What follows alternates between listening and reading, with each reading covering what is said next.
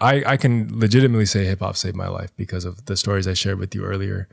Um, and so I'm for that reason I'm I'm incredibly protective of it. I'm very possessive of hip hop because hip hop was for us as disenfranchised, oppressed people as a as a form of communication, as an art form for us to overcome those oppressions. It wasn't meant to be selling, uh, you know, sneakers and and Pepsi ads. Like the way that corporations co-opted hip hop is absolutely heartbreaking to me. And so when people think about hip hop and you know what it is and what the image is, you know, it's it's one aspect of it, and it's not the one that I feel like is the best representation of us as people.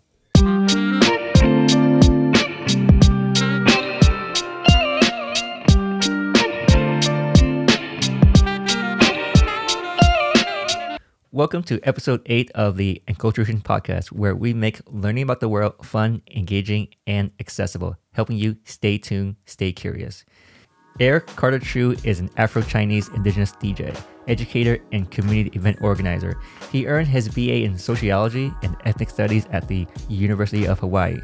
He also holds two master's degrees in social justice education from San Francisco State University and University of California, Santa Cruz. In addition, he has studied foreign language at Beijing University and Konan University in Kobe, Japan, as well as being a UCLA Writing Project Fellow. Eric also known as Black Soap, has been a resident DJ for Open House Family since 2015, and is a co-founder of Soul Source, one of the premier monthly dance parties in Los Angeles. As a public high school teacher in the San Francisco Bay Area, his focus is on teaching youth through the word and the world by incorporating social emotional health, music, film, and creative writing into his curriculum. He has piloted courses in sociology and ethnic studies in Oakland and Los Angeles Unified School District, and is currently teaching in an intensive therapeutic program in Palo Alto. His diverse living experiences are reflected in not only in his perspectives as an educator, but also in his sound as a DJ. He is known to have a signature eclectic and deep sound ranging from hip hop, soul, funk, jazz, house, drum and bass, and worldly influences. Welcome, Eric. What up, man? Good to see you, man. Thank you so much for coming on the show I really appreciate you uh, you being here and taking the time out of your day and um, really just being vulnerable and open enough to share uh, your worldly experiences. Thanks, man. No, I'm really grateful to be here and um, just yeah share stories today. Yeah, yeah, for sure. Um, so let's let's let's start with your background. You know, like tell tell me how you got to where you are from, like either the Soul Source um, path or the education path. Hmm. I mean, I, I think when it comes to um, music and and uh, me my role as an educator it really does come down to my parents. And um, you know when I was kind of reflecting on what brought me to the moments that I'm experiencing today it's like thinking about my mom who's an immigrant. Um, actually she's a, an orphan from Hong Kong. And um, kind of understanding how you know what it means to be an orphan and then um, kind of going through the world not having a connection to your past and how that has informed what I do through music and why I became an educator. Um, and uh, similar with my father being from Mississippi, um, being growing up in the deep South, um, going to segregated schools, um, not graduating from school himself, being illiterate, um, and his journey through music and his struggles with education, um, and how that sort of led me to becoming a teacher as well and becoming a DJ. So uh, I definitely want to spend some time unpacking that a little bit more, but but yeah, I think my story um, absolutely starts with my parents who are um, Afro Asian, and um, and yeah, so all that kind of informs my journey. Yeah, uh, I would love to unpack it. So I, I guess I'll, I'll, follow your lead on where to where to start with unpacking. Yeah, I mean, as I was mentioning, um, my mom, uh, you know, she she was an orphan, and uh, she got brought to the United States when she was six years old, and uh, growing up um, you know, she was she had a Chinese name when she came here, um, but then when they brought her here through that process of Americanization, um, they had her change her name and uh, they taught her English. She doesn't know Chinese anymore, um, and she grew up in a, a, you know a German and Italian immigrant household in Los Angeles. And so her navigating through school and um, you know the struggles that she had, she was actually in special ed um, because at the time they didn't have you know ELD programs. So even the notion of you know someone being different in the school system kind of supplants you in special ed programs. And that was happening in the 1960s. And that's still in many ways happening today um, with students of color being, you know, sort of um, disproportionately placed in special ed classrooms. Um, and that's what I'm teaching right now, which is full circle. So, um, and yeah, so my mother growing up with uh, essentially white, um, with white parents. Um, and then when she met my father, my father, um, he's from Mississippi. Um, he's from Greenville, Mississippi, which, as we know, is the heart of, of slavery in America. And my father, um, you know, he went to segregated schools. Um, you know, he, my family practiced sharecropping, slavery, obviously. And, uh, you know, my father didn't end up graduating from high school, and uh, you know, and he passed away maybe ten years ago. And till the day he died, he was still illiterate. And um, so for me to make it through, you know, have those, uh, have my parents have those experiences with school, um, and then for me to eventually become a teacher, um, yeah, there's a there's a lot that that kind of happened. Even just for me to to be, you know, to exist in the world and. Um, as I was mentioning to you as well, my my grandparents, my mother's grandparents, didn't accept my father um, for him being black. So there were um, issues with race rampant even there, you know. And so um, one of the things that my my grandparents told my mother was that, um, you know, why are you dating a black person? You know, like what kind of um, kids are you going to bring into the world? You know, and one of the funny things that they said was um, they were like, they're not going to have any friends and they're going to look like Samoans. And again, keep this in mind, early 1970s, early to mid 1970s, and just a lot of ignorance and unawareness. Um, but uh, but lo and behold, my I have you know two brothers, um, and we were we were born, and we did manage to have friends, and eventually we we became these people that um, you know like I, I we do we do i'm really proud of my brothers my my younger brother is an automotive engineer and my older brother is an automotive journalist and um, I'm a teacher and a DJ, and we just defied so many odds to get to where we're at today, um, especially in a world that wasn't trying to accept us for who we are, being Afro Asian. Um, so yeah, I mean, I think those experiences definitely fuel why I became a teacher and a DJ. yeah, uh, do you think the similarities between being a DJ and a teacher, um, as far as like kind of presenting information or educating the crowd or your students, rather? Yeah, I mean, I, I well, you know, going back even a little bit further, um, you know, most of my graduate and academic, you know, my bachelor's work was on the, the intersection of hip hop and literacy. Um, and I, I, I personally, um, without trying to get too far ahead, um, I didn't graduate from high school either, and I became a high school teacher. But what was my teacher from this? From you know, what I felt like was my one of my first teachers was music, um, specifically hip hop, and how I learned about um, the world through hip hop and how that um, was informing me in school as an educator and as a learner. And then when I started DJing, it's kind of the same thing in terms of educating people on culture and educating people on history through music. Um, and yeah, there, there's a lot of things uh, you brought up that's so interesting that I want to get back to it. Um, one of which I think it's important to kind of give clarity on what kind of hip hop that you're listening to, right? Because mm. I think depending on the generation that you're born in, people today might have a completely different understanding of what hip hop is. So let, us speak about like which uh, either yeah, what what layer, what tier, or what generation of hip hop you're talking about? You know. So I was in high school in the '90s. Yeah. I listened to golden era boom bap hip hop. Um, yeah. But that's not how. That's not. That was not my first introduction to hip hop. Yeah. Um, I was listening to Snoop and um, kind of radio radio stuff at the time, '92, like Snoop Snoop drops, and uh, and that was probably one of the first CDs I had. Listened to Ice Cube, and there's definitely like a lot of consciousness, especially in that Ice Cube the Ice Cube albums. But I was a kid. I was listening to hip hop because I thought it was gangsta, and I was trying to find an identity um, as a young adolescent. But um, I'll never forget the moment that I feel like hip hop literally changed my life, and it was.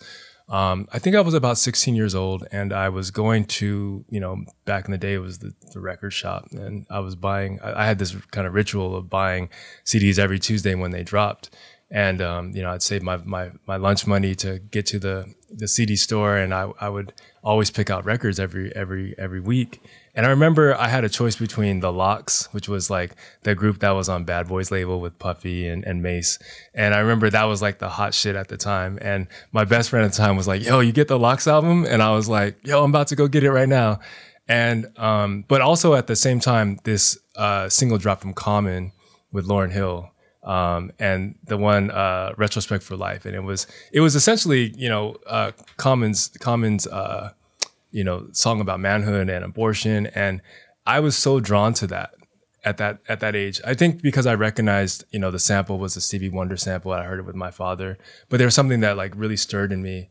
That was like, yo, go get that album. And I started listening to Common, and then that just like kind of um, opened up the gateway for me to like expand on consciousness and you know African identity, you know Afrocentrism through music, and I wasn't getting any of that in school. So hip hop was absolutely my first teacher in terms of um, in terms of something that I felt was really valuable in my life. So, yeah.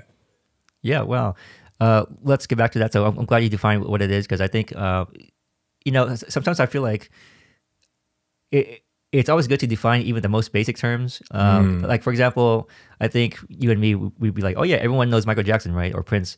But I actually met younger kids recently that have no idea who Michael Jackson is or Prince, right? So that's surprising. Yeah, so it's it's mind boggling for me that um, I think sometimes it helps to uh, kind of define. Okay, what is it that we're talking about? You know what I mean? Because if someone's turning the radio now, they're like, this is hip hop. Like he he got conscious through this. It wouldn't make sense. Right, right, right, right. Yeah, yeah. I forget how old I am now.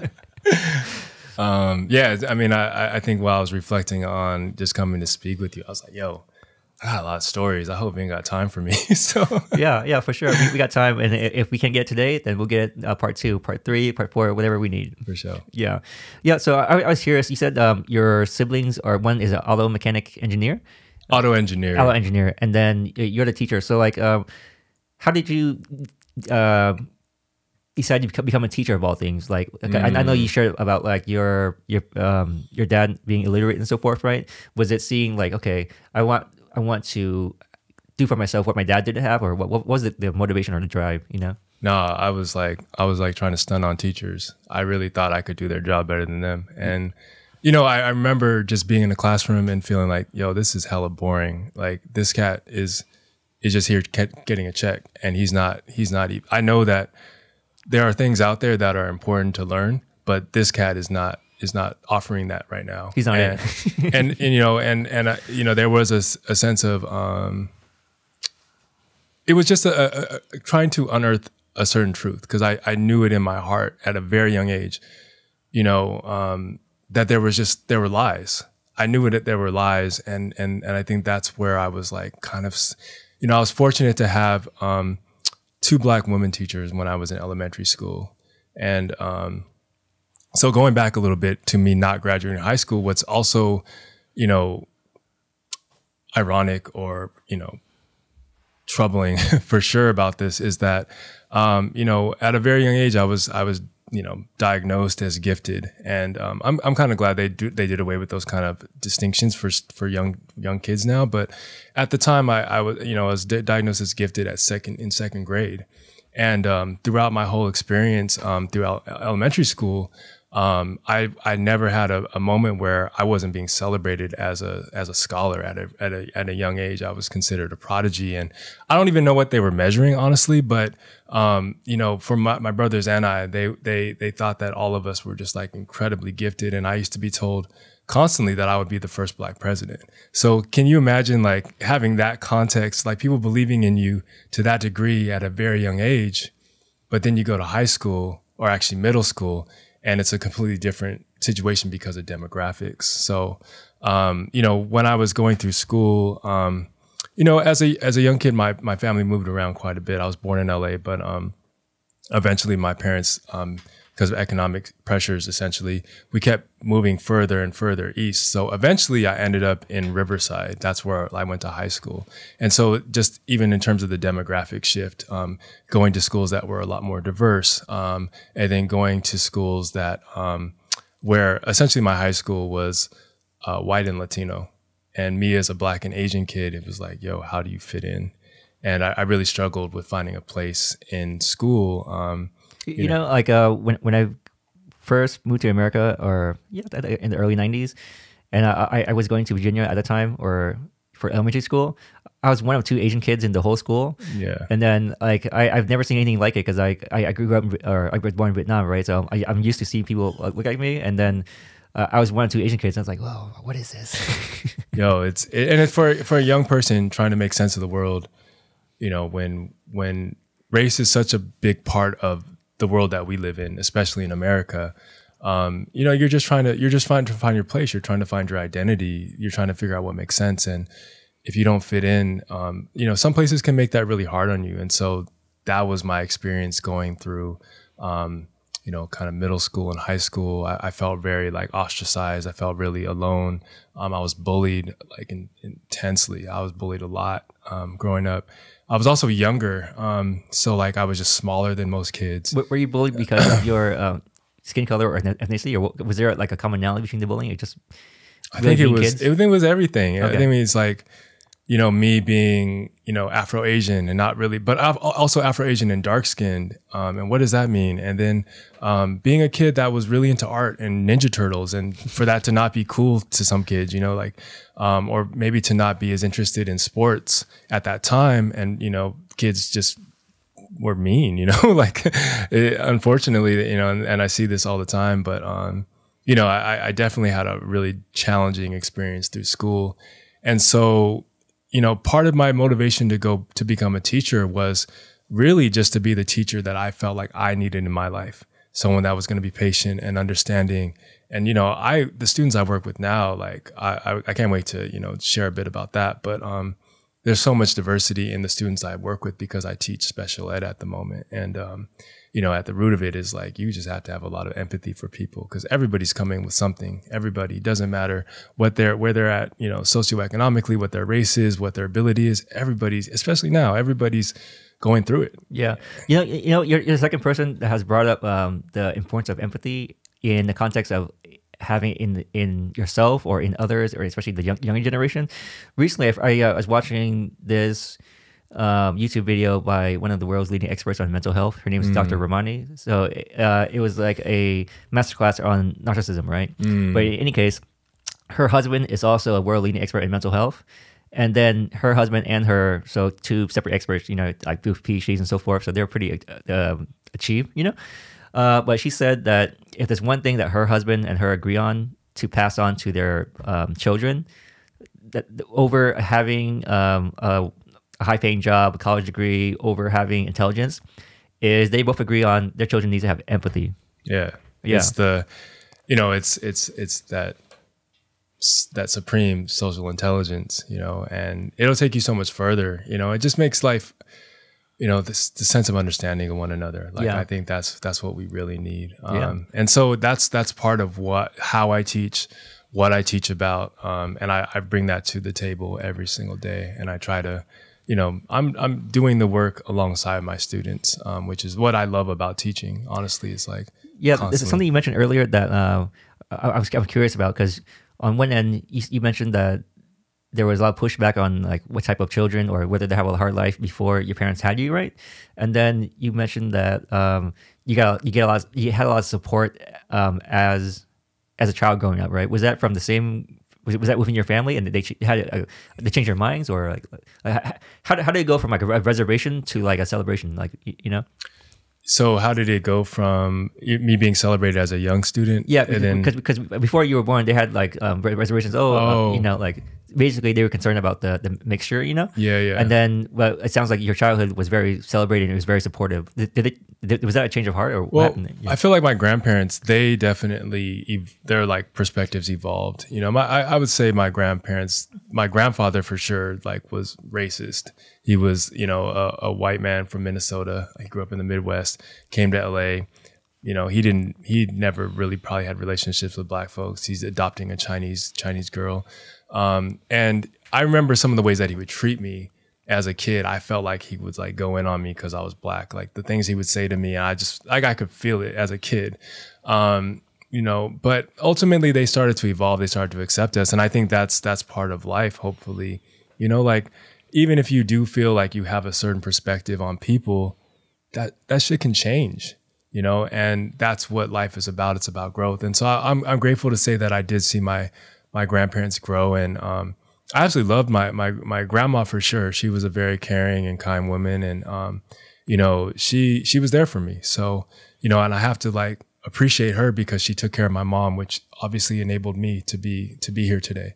So I have love for her. Um, but it's interesting for you know my mom to be Chinese but grow up in a white household. She she came here when she was six.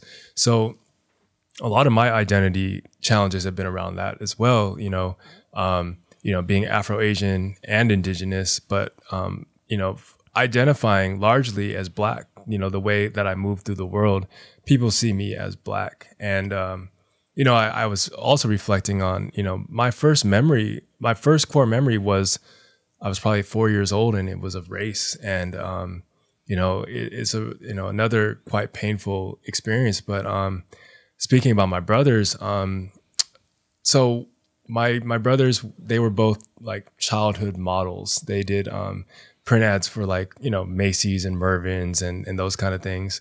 And uh, I remember, uh, we were on set for McDonald's, and uh, sorry, it always kind of chokes me up.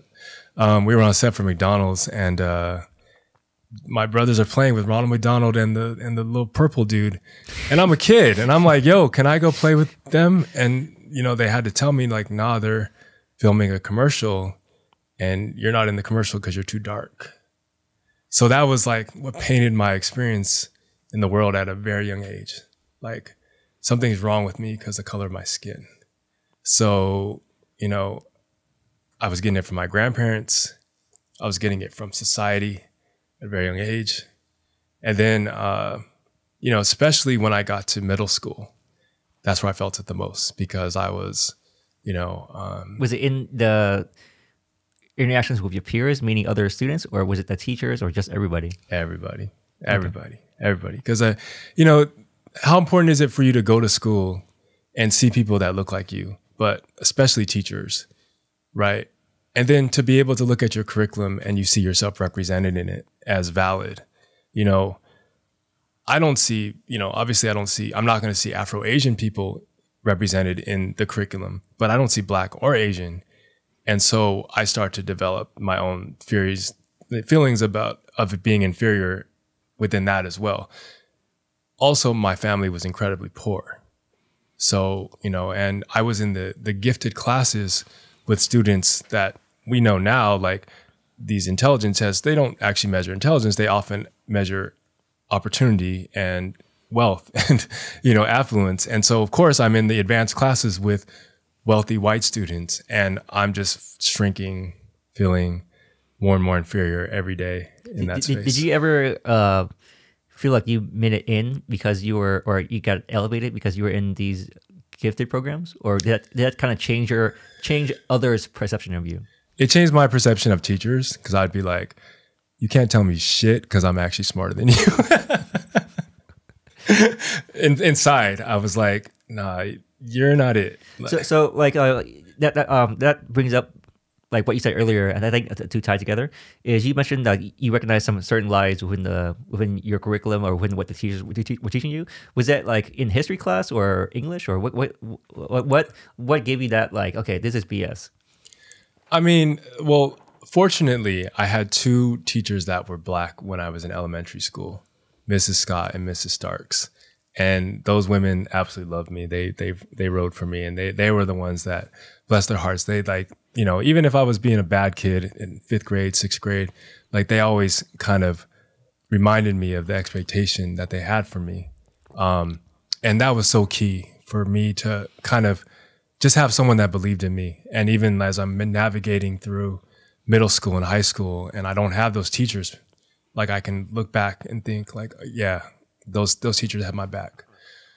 And, uh, yeah, I mean, I remember the first time that I, you know, I, I actually um, freshman and and, and uh, sophomore years, I damn near failed all my classes. I had a 0.6 GPA at one point, and I was I don't know what I was doing. I was in some ways I think I was just rebelling. I was just saying, yeah, fuck this. I'm not gonna participate. Um, and you know, I didn't see any value in it. The first book that I read in uh, in ninth grade was Great Expectations.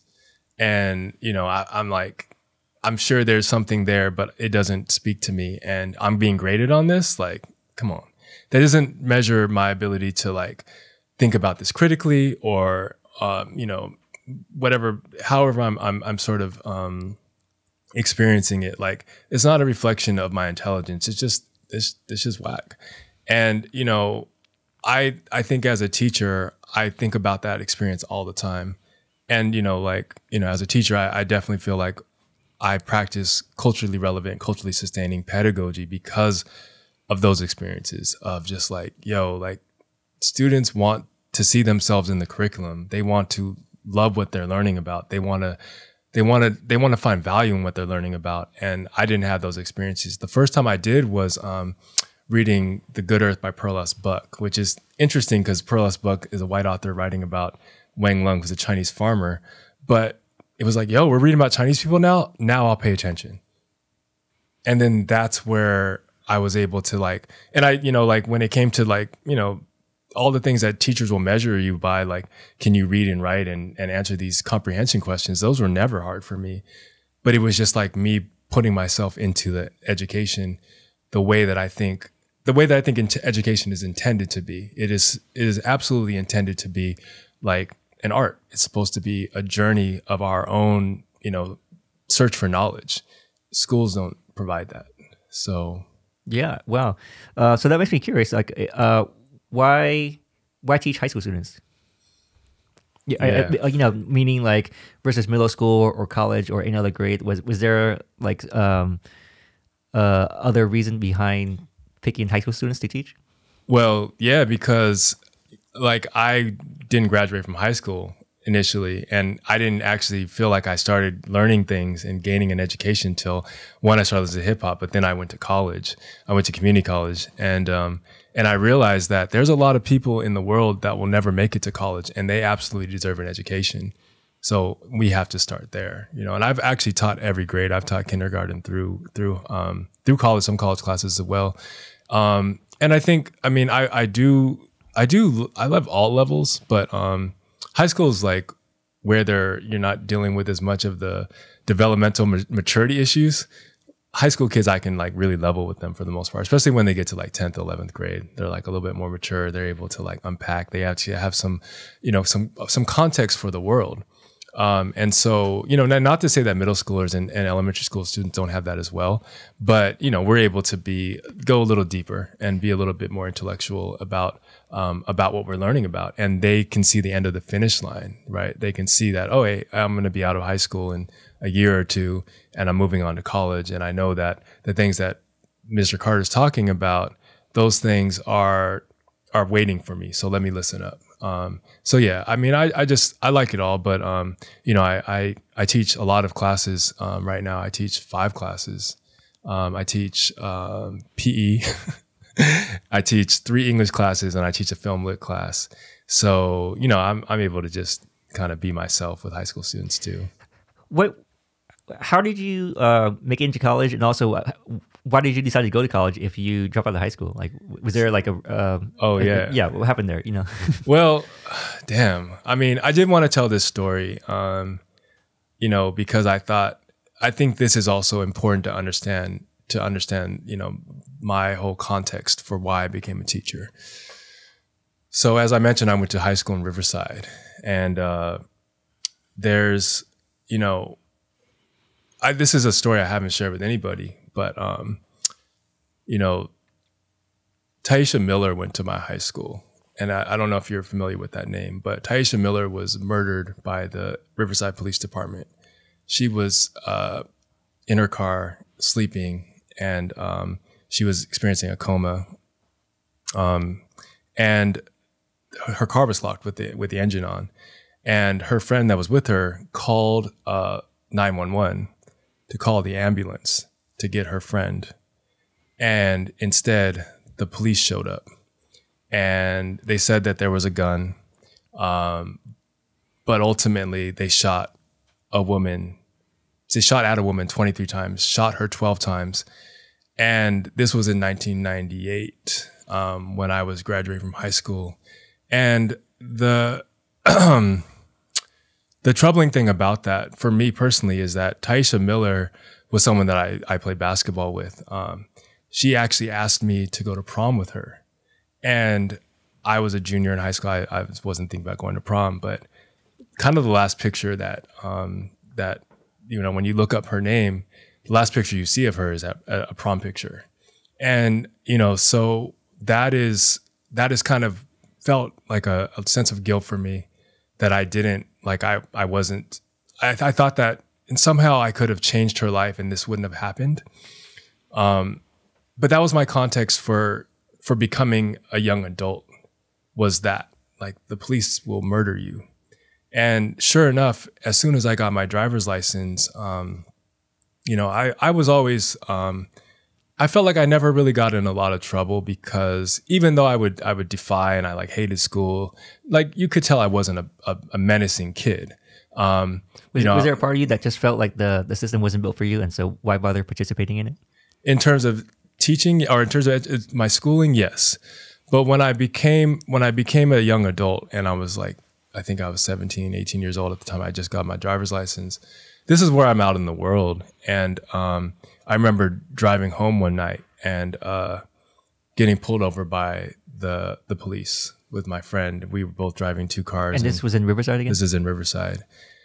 And I remember the sense of just like absolute paralysis that came over my body because I never been had the lights shine on me at night, and I was was, like, was that after um, what happened to her? Yeah, okay. it was after after what happened to Tyisha, and you know, like my father had the talk with me about you know as as all black parents do, they have the talk with their kids about what it means to be a black man in the world, and you go out and you got to be you got to be worried about the police. They're not they're not there to protect you, even though that's what it says inside their card.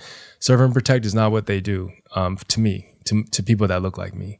So my other me and my other black friend were driving home one night, and um, you know, uh, cop gets behind us and is following us for about about a mile, and it's you know, in my I'm like this seems excessive. Like, why are you following us?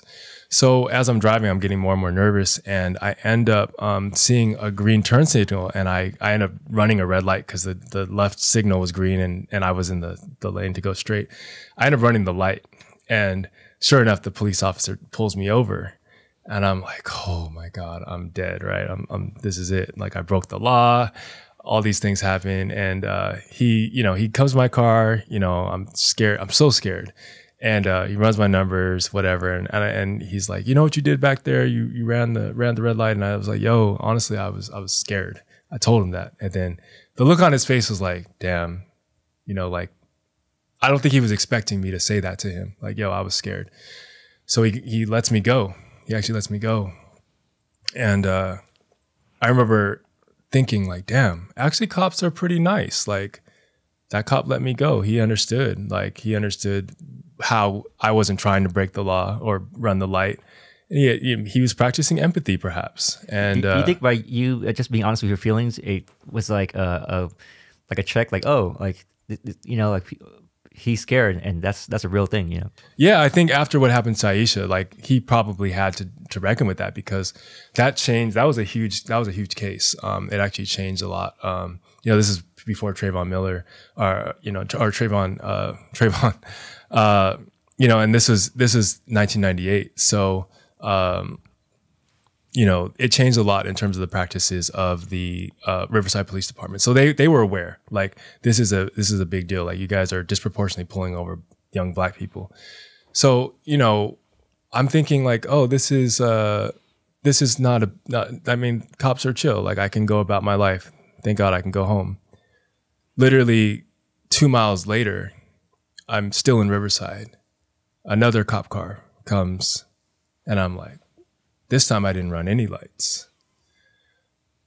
And uh, and I'm like, this is peculiar. Like, well, the last cop let me go. Like, I'm sure this one will let me go as well. And uh, so I pull over, and then I notice there's more than one cop car. There's like five cop cars and a helicopter. And I'm like, this is different. And, you know, I remember, yeah, just the fear of like being surrounded, you know, guns pulled from every direction. And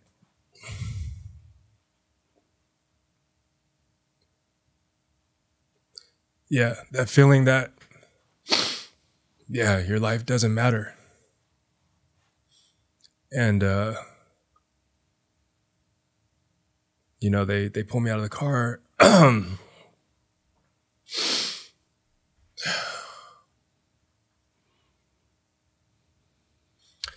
and they accuse me of murder. you know, and uh, yeah, I remember them telling me that. sorry, that uh, my car matched the description. And uh, the the other funny thing about that was that you know I was I was Asian kid. I was into racing. so my car looked like um, it was a hot mess. To be honest, it was a, you know, I had gotten in an accident, so you know, I was a young kid driving, and I was like, it's cool. I'll I'll put a a racing bumper on. So I had a, like one of the body kits, and I had. Did a, you have a race bucket or? Yeah, yeah, I had a total race. I had a CRX. and uh, and truth be told, my car was red, black, yellow, and gray at the time. Looked like a clown car. A big old scrape on the side. And uh, the police were like, "Oh, your car matches the description." And I just remember so so poignantly at that moment being like, "Bro, it's not my car that matches the description. It's my skin that matches your description." And that's what gave me. I mean, I'm 18 years old. I'm just getting out of high school. I don't know what the hell I'm gonna do with my life, and uh, that gave me the kind of motivation to recognize that I have to do something. You know, I have to do something and conversely, at that time, I was also working a warehouse job. I didn't have, you know, I didn't have anything. I was barely got out of high school. I, I ended up graduating from high school late, so I just took a, a warehouse job.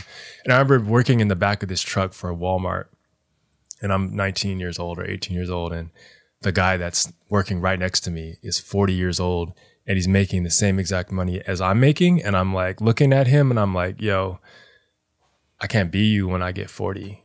So here I am, 40, 41, and, and thank God I, I made something of my experience because, yeah, it was, uh, but it was definitely that experience of the police that was just like, yo, this world is is kind of fucked up, and uh, you know, I could have been Tyisha at that moment, and I wouldn't even be here to tell the story. So here I am. I, I felt like, yeah, I, I don't know what it was about education. I'm sure that, you know, we'll, we'll we can get there. But you know, there, there, was a lot of things that happened in between there as well. But um, but yeah, I, I really believe in education as being as being a route to so many things, um, especially in terms of healing ourselves as people. Okay, wow, that was that was a lot to uh, unpack. How did you like manage um, in the days, months, or maybe even years after that experience? Like, did did it uh, was it something that was like kind of carrying on you carry on your shoulder and, and, kind of influence how you view even like walking down the street or driving um, like because you obviously made a set of actions that you overcame anything that might have held you back right? So like how, how did you get there? Because that, that sounds very traumatic. I, I wouldn't even know how to process that right? So but but you you made certain steps to move forward. So i think that's that's really important to know. I'm smiling so much right now because the next part of my story is I moved to Hawaii. I moved to Hawaii, and uh, that was a choice that I felt like took so much courage because I had only lived in California to that point in my life, and uh, you know, and I I I was working as a manager of a clothing store. I left the warehouse. I was I stopped working at Walmart. I was going to college, um, taking class at Riverside Community College, and I was working in fashion retail at the time. I was working at Express Men's Structure, and uh, I remember uh, we brought in this new manager named Dusty, and she was from Hawaii, and she just had a cool ass vibe. And we worked together, and she would tell me stories about Hawaii. And I was I was applying for school. I was actually trying to go to UCLA. That was my dream to go to UCLA. And she just kept talking about Hawaii, and I was like, you know what? Hawaii sounds dope. I think I need to get out of here. So I applied, got in, and I I, I just moved. And um, I remember moving to Hawaii and that being such a blessing for me because um, you know, in Hawaii, the people the people look more like me, you know, and that was that was amazing for me to be able to find a place where there are more Hapa people, more mixed people. Um, but specifically, the police officers are also, you know, island boys, folks of color, and so I didn't feel that sense of, um, yeah, I had I definitely had like PTSD. I I, I felt the sense I, I, I didn't feel like when police were behind me uh, in Hawaii, like I felt like I was good. Like they weren't going to be malicious. They weren't going to pull guns on me. So I was able to take a vacation. So H- Hawaii sounds like it um, was a new safe place that you could be in while you were processing and unpacking all that, that happened to you, right? Yeah. Yeah, and it's, it's, it sounds very necessary to be in that environment after what you went through. Yeah, no, Hawaii was Hawaii's been a, a complete blessing, and and now my entire family lives there. So I moved there just for college, and then I was there for a year, and I was I was thriving. I was literally thriving. I was in college. I was at University of Hawaii. I was killing it. I was teaching. I was in my first year that I was teaching sociology classes, and I don't know why they trusted me, but they were like, "Yo, you should teach," and I was like, "Cool, I'm, I'm with it." So I was teaching sociology classes my first year there, and then um, I told my brother, my younger brother, um, yo man, you should get out of Riverside, like come live with me in Hawaii. And uh, he he he ended up going there, and uh, yeah, my brother's also killing it right now. I'm so grateful that we made that decision to to migrate. You know, and it was a migration. I I wasn't aware that it would be um, kind of a haven for mixed mixed folks to go to. Um, but you know, it's so much of the culture because of the plantation society um, that I was able to really develop an identity in Hawaii. Although you know there was, that was challenging too. There's not a lot of black people in Hawaii still. Um, the majority of black people that are there are athletes or military, so that comes with its own set of stereotypes. But overall, I, I would say Hawaii has been. Um, yeah, Hawaii is my home now. Like, like, I said, my mother lives there, and uh, and you know it's it's a place of refuge for me. It's where I go and get the most connected. So that's why I'm I'm fortunate to be out there a couple times a year as well. So How do you think uh, life would have been, or the person you would be today, had you not moved to Hawaii? Like, uh, I can't even imagine it because you know Hawaii opened the world to me. Um, you know, I was taking classes with students from Japan and Germany, and I was like, "Yo, like Hawaii is dope, but I actually want to go where you live." So I ended up moving abroad. Uh, I was living in Japan, I was living in China, Taiwan, South Korea. Um, you know, and and so it just it gave me this sense of confidence that um, one, I could do whatever the hell I want, um, and secondly, yeah, the world is small and and there's people everywhere. There's things to see. I mean, I, I absolutely love, love, love, love traveling um, because it gives you an opportunity to just stretch your brain, stretch your imagination, stretch your perceptions of the world. And you know, unfortunately, like you know, I think all humans. I wish that all humans had that privilege, um, but I had that privilege um, through my courage. Mostly, I didn't have money. I just was like, I'm gonna make this happen. did, did you move to these places without uh, a contingency plan, meaning like without a job lineup, or like how did you how did you make it happen? You know? Well, I, I can definitely say that education has been my passport. Okay. So, So, so, so, for sure. like for example, you, um, when you moved to China, you taught in China as well. Is was that what happened? So I, I actually went to school in China. I went to Beijing Daxue or Beijing University, and then um, I I went to school in in Kobe, Japan. Um, I taught in Taiwan and I taught in South Korea, um, and then through that I would travel throughout Asia um, in the times I was there. So, um, but school was definitely my my um, my passport, and I loved. I I, I never. I've actually I hardly ever take vacation but I travel. So like I make sure I have an address when I get there because I want to be able to like immerse myself in where I'm about to be. I don't want to just be, you know, six days, seven nights or whatever, however it goes. I, I want to be there. I want to be a part of the community. I want to learn. So I've I've been I've been lucky to be able to like travel through through education. So Yeah, amazing. Uh, what was your experience like living in China? Um, yeah, China was China was dope. I, I so I I went to China when I was in graduate school. Um, I, I I should also share that that piece. But I was going to I was studying my first master's in education at San Francisco State, and um, I honestly felt like the program was pretty bootleg. And uh, me and a, a number of students, we had one dope teacher, Jeff Duncan Andrade. Shout out Jeff, like he's he's he's the he's the man. But uh, aside from that, you know, the, the program is bootleg, which shouldn't be surprising because K through 12 schools are bootleg, and why shouldn't the university programs also be, you know, you know bankrupt in that in that sense. You, you know, speaking of uh, bootleg, let me add my co- contribution to that to that evidence. Right, uh, I remember in San Diego for high school. I forgot what year. It's been such a long time, uh, or maybe it wasn't memorable for me. Who knows? Um, so yeah, my, I think my English teacher. What is his name? I forgot his name, but um, yeah, I think Mr. Hall or something like that. Wait, you know, by, by the way, isn't it, isn't it funny how years later we still call our teachers by Mr. or Mrs. Like- yeah. So, anyways, my English teacher, he, you know, as, as you, you probably know well, well, so sometimes teachers get audited or re- reviewed. I don't know how deep that goes, but that does happen, right? Yeah, and so um, my teacher made a point to for have us to rehearse the questions that we were going to ask him, um, and then he'll answer back. And so during the day when the auditor was there, we played through our rehearsal. You know, um, I, I guess you can say that was uh, a first piece of choreography that I was a part of. you know, uh, so we played, played through the rehearsal. We had some questions, and then he busted out a guitar and he sang us like Bob Marley. And then after the auditor gave went, went uh, left, he gave us donuts for our, our participation. Right. Word. Uh, that, that that story is very funny to me, but funny to because I can laugh about it now. But as far as value, I, I didn't get any, any value out of it. you Yeah, know? yeah. So uh, that would be one of my bootleg experiences. I'm like, okay, I just got this guy just gave me donuts to make him look good.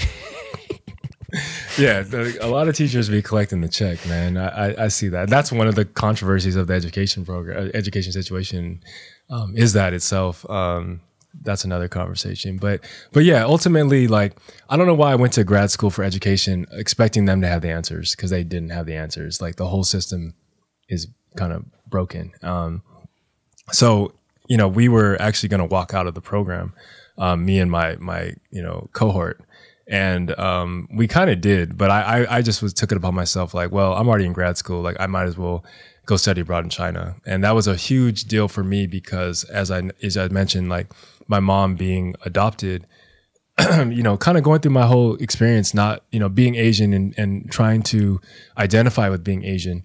But, you know, you know, I would experience it from other Chinese or other Asians as well. Like, oh, you're not, you don't speak. Oh, you're not, you're not Asian or you don't look it. So there was this part of me that was just like soul searching. So I was like, yo, I'm gonna go to, I'm gonna go to China.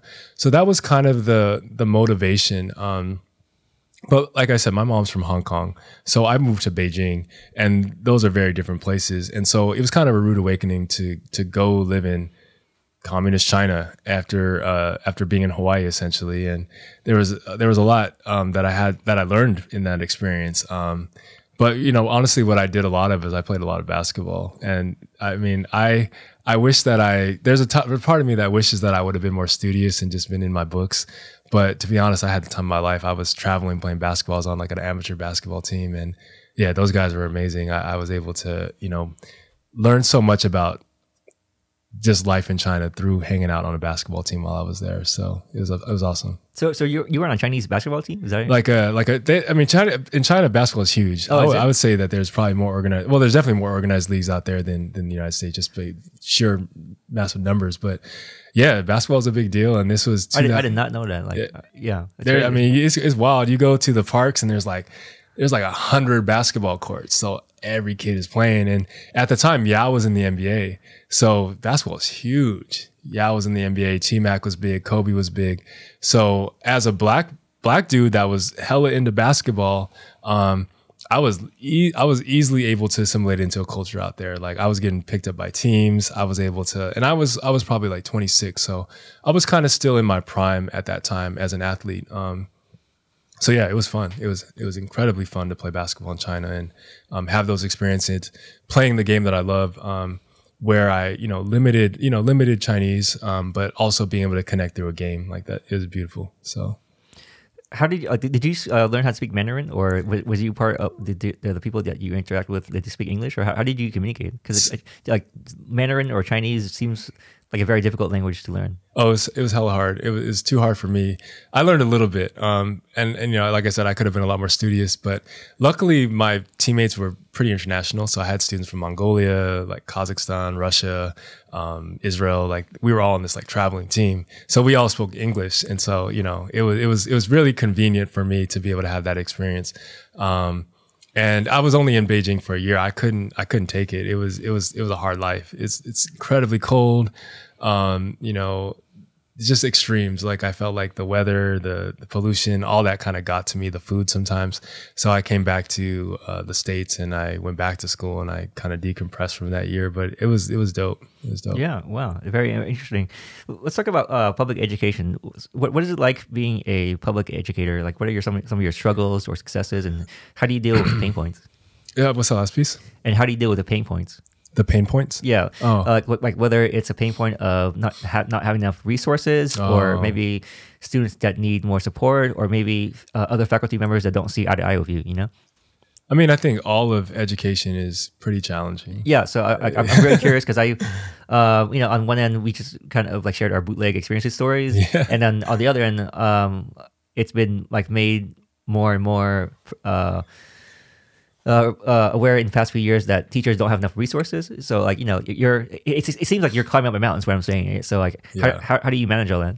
Well, it's it's not just the last few years. I think it's infinitely been an issue with resources, especially for the students that need. Oh, it. not not the last few years that teachers have had issues, but the issue's been brought up. Oh know? yeah, yeah, yeah. Um, but yeah, I, I do think that you know those issues are affecting, and, and it's it's it's even harder now post pandemic.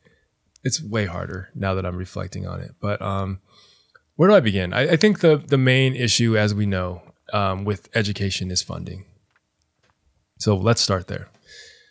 You know, uh, I used to teach in Oakland Unified School District, um, and that's where I began my teaching career. And with two master's degrees, um, I was making fifty thousand dollars a year, and you know that's that's that's that's one of the main problems right now. Is just they say there's a teacher shortage, but there's not a teacher shortage. There's a shortage of people, professionals with master's degrees that are willing to work fifty fifty thousand dollars a year right now.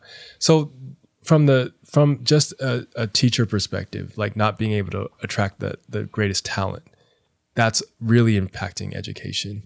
Um, you know, technology is an issue, of course. You know, we're all dealing with it as adults, but absolutely, young folks are dealing with it. Um, you know, and you know, we deal with students kind of battling them on their phones. Um, more so this year than before because I think, you know, students went through an entire school year where they were on technology. So now to tell them to not use technology is kind of, you know, it's it's it's not native to them now. It's like, wait, what? Like I can't just take all my classes online and just stare at my phone. Um, there's those issues. I, I think, you know, one of the other main issues is just the curriculum itself, and I would say that's probably supersedes everything else. Um, because when you think about school, what is the purpose of a school?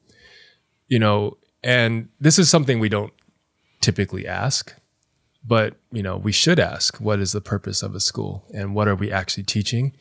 And you know, what is the what are we what are we trying to, what is the result here? And you know, I do think that schools were developed in America um, specifically for civil obedience, right? And to to get to you know it's like citizenship training, teaching people how to follow rules, how to be obedient, how to um, adhere to authority. Yeah, I, I, haven't um, gone down that rabbit hole, but I did come come, come across of uh, someone telling me in the previous conversations it's a while, but something about like the way that these schools are um, set up. It was I think during the industrialization period where it's made to create workers rather than like thinkers. You know? Right. Yeah. Absolutely. And I think just unpacking that is like, wait, there's we can do this differently. We should do this differently. Um, but that's the model that's been in existence for over 100 years. And you also can add racism into that equation. And how does that affect people's schooling experiences? Um, you know, and you know, institutional discrimination, these types of things. How does that affect schooling experiences? So Okay, so you brought up like the, the funding piece, the, uh, the student piece, and then the uh, systemic piece, right? So let's start with the, the funding piece. um, is that based on like where the school districts are? Are you are you talking about like within that school, um, the funds aren't properly managed? Because you know, I, I I don't know it firsthand, but I do know that um, in one of the schools I went through, went, previously went to for high school, um, like the school had no problem buying a new a, a, a pretty ball new piece of of uh, football turf, you know, where was this school? uh, San Diego. So so I, I now now that you got me thinking, I, I don't know if that money was appropriately spent or the sports team just had more more funding or I, I don't I don't know how, how that all works right but is, are you talking about like within the school system uh, certain teachers or certain programs aren't getting enough money or that school itself isn't getting, getting enough money well the disparity mostly happens district wide mm-hmm. um, through recognizing that every district in California has a separate budget you know and the way that they get their money um, is different for every school um, and so this is something that I think more people should be aware of. But um, you know, right now I teach in what's known as a basic aid school district. Is, is that the like official label for it, or what does that mean? There's very little. There's 10% of school districts in California, or less than 10% of school districts in California, are basic aid. What basic aid means is that the funding for education comes from property tax. So if you live in an affluent school district, then those schools have more money for education and it's not determined by attendance. Most school districts, their funding is based on attendance. And so, and then there's there's tons of other variables within there, other taxes and whatnot.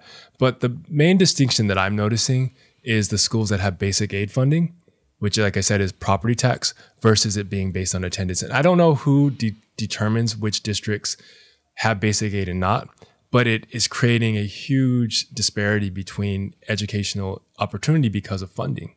Um, you know, as I just mentioned, uh, putting myself out there, like, you know, I was making sub fifty thousand dollars in Oakland. Um, I'm getting paid significantly more, essentially twice as much, to teach in a different school district. Who teaches? Who lives in that school district that I teach in? Though, I don't get to work with the black and brown youths of Oakland. I'm working with the students of Palo Alto. Luckily, I mean, not luckily, but you know, the circumstances of my position is I'm actually serving most of the students from East Palo Alto, um, who happen to also be largely black and brown youths. But this issue of educational inequality absolutely follows, um, you know, systemic issues, specifically around property, right? Like the issue of redlining and property values and who had access to to home loans, you know, all of this is still playing a role in our educational system at this very moment. So, like, has this always been the case, or is this um, um, laws or regulations that got changed recently? Like, what what what, what time scale are we talking about here? I mean, I think this the you know the I'm not completely certain on how public schools, specifically in California, have been funded throughout history, but I do think that there has been some relationship to. I, I, used to the the idea used to be that it was it was it was property values, right? But now it's it's attendance or it's, property values. But like I said, what's happening right now that I see is like 10% of the schools in California have basic aid, and then the other 90% have a mixture of different funding sources. So by, by attendance, does that mean um, the total quantity of students attending the school, or is like let's say your class is 30 students, right? um, as far as like who who sign up, and then thirty students sort of show up year round? Is it based on like how how much you meet the actual full capacity, or how many total students go there? It's based on it is based on actual enrollment, uh, okay. uh, not just actual enrollment, but actual attendance. So the okay. schools, the students have to attend school for the school to get the money. Yeah, and you know that ends up having that ends up changing if your school has less enroll or less attendance, then your school will get less money. So that also becomes an issue when students are not going to school. Um, and, and, do you find that there's a different uh, proportion of students, I guess, skipping class depending on what neighborhood you're in or what school, what school district you're in? I mean, I think there's more students are invested in education differently, mm-hmm. and yeah, the fact is that the schools i mean i used to teach in east oakland and those schools are not serving those communities appropriately so there isn't the, the level of buy-in from students and, and i would understand that um, but, it, it, but the school district i teach in now is the considered the, the highest ranked school district in the country so those students are incredibly invested in their education because it's serving them yeah, uh, you know, like like um, hearing how much potential uh, teachers make in Oakland, uh, considering how much how, how expensive Oakland is now, I, I, don't know how anyone can can live there based on that salary. Um, yeah, I mean, uh, we're not even talking about SF rate. Oakland is getting pretty pretty damn pricey. You know, this is the one that boggles me um, to no end because I would I live in Oakland. I would love to teach in Oakland. I would love to. So this is the other. You asked me what was challenging about my job right now the most challenging thing about my job right now is I commute two hours each way So I'm commuting four hours a day just to go to a school district that can pay me a professional wage. And I could live in the neighborhood that I teach in, but there's a number of reasons why I won't do that. For one, I I'm a black and Chinese male. I I I, I exist in this world in this body.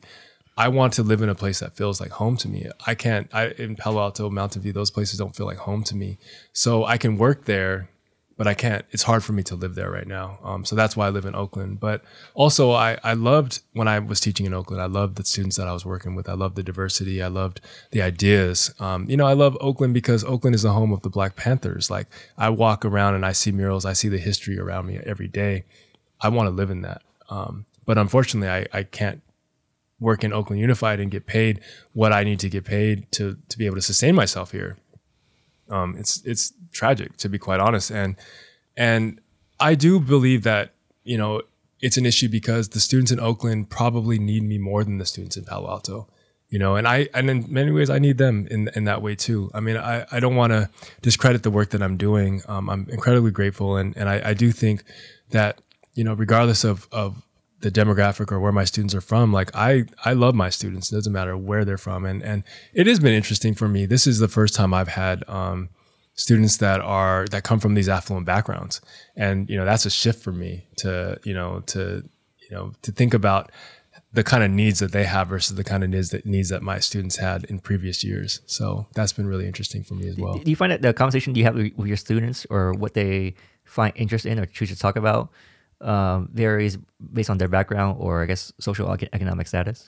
For sure, but I think there's definitely some commonalities just on age. Yeah. Um, and you know what I love about I, I you know I, I don't want to focus too much on the issues in education because I I actually I fucking love my job and I want to just put that out there. Yeah. Um, and I'm I'm grateful to be able to say that I fucking love my job and um, because I'm able to you know I'm able to work with students in a way where um, we're just exploring the world and, you know, I have to be mindful about um, what it is to work in um, a community that is more affluent, probably more conservative, probably more Republican than me, um, to be to be straight up. But I don't see them like that. I see them just as kids, and the way that I, I feel like I connect to them um, is quite different than probably how I would approach education in other contexts. But one of the things that I've been really unpacking this year is epistemology, just like the study of knowledge. Like, why do we know the things that we know? And if I can use that to enter, you know, the classroom, that that sort of curiosity, every kid can get on board with that. And the things that we talk about, there are common themes. Um, and I do, I don't censor myself in the classroom. I, I, I, I know that they'll probably never have another teacher quite like me. Um, who happens to be uh, and has has a background in ethnic studies, but also is a DJ. My students know I'm a DJ, and like, so we do connect over music. Um, and you know, so I, and I, I honestly like a, a, huge part of my my curriculum is music. So um, I'm able to connect to kids no yeah. matter where they're from. Yeah. So uh, on on the um, I guess to close out the topic of struggles in education, how how can these schools be supported? Like, uh, what can either like parents or just any residential um, person in, in those, these, these, neighborhoods do, or even people not not from that those neighborhoods? Like, like how can schools be supported? Is it uh, through voting for certain leg- legislation, legislation, or I, yeah, just I have no idea how to how, how to support schools. You know. Well, I mean, what what's coming to mind for me is I, I don't have a lot of um, faith in the legislation and the politics, to be quite honest, because it's been this system. The, the the the statistics of achievement have been the same for fifty years. So I don't expect it to change in one year.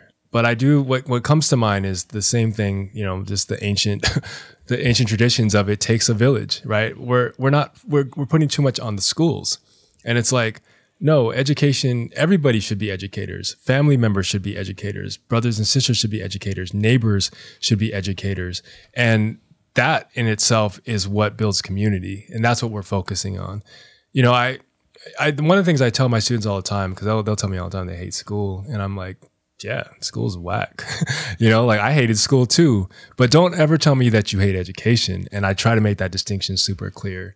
Um, and education happens everywhere. It doesn't happen just in the school. So the more that we as a community, as citizens, we continue to grow in our education, that's going to help students. If they, if they, if your kids can see that, yo, when Pops goes home, he reads a book instead of whatever is on his phone.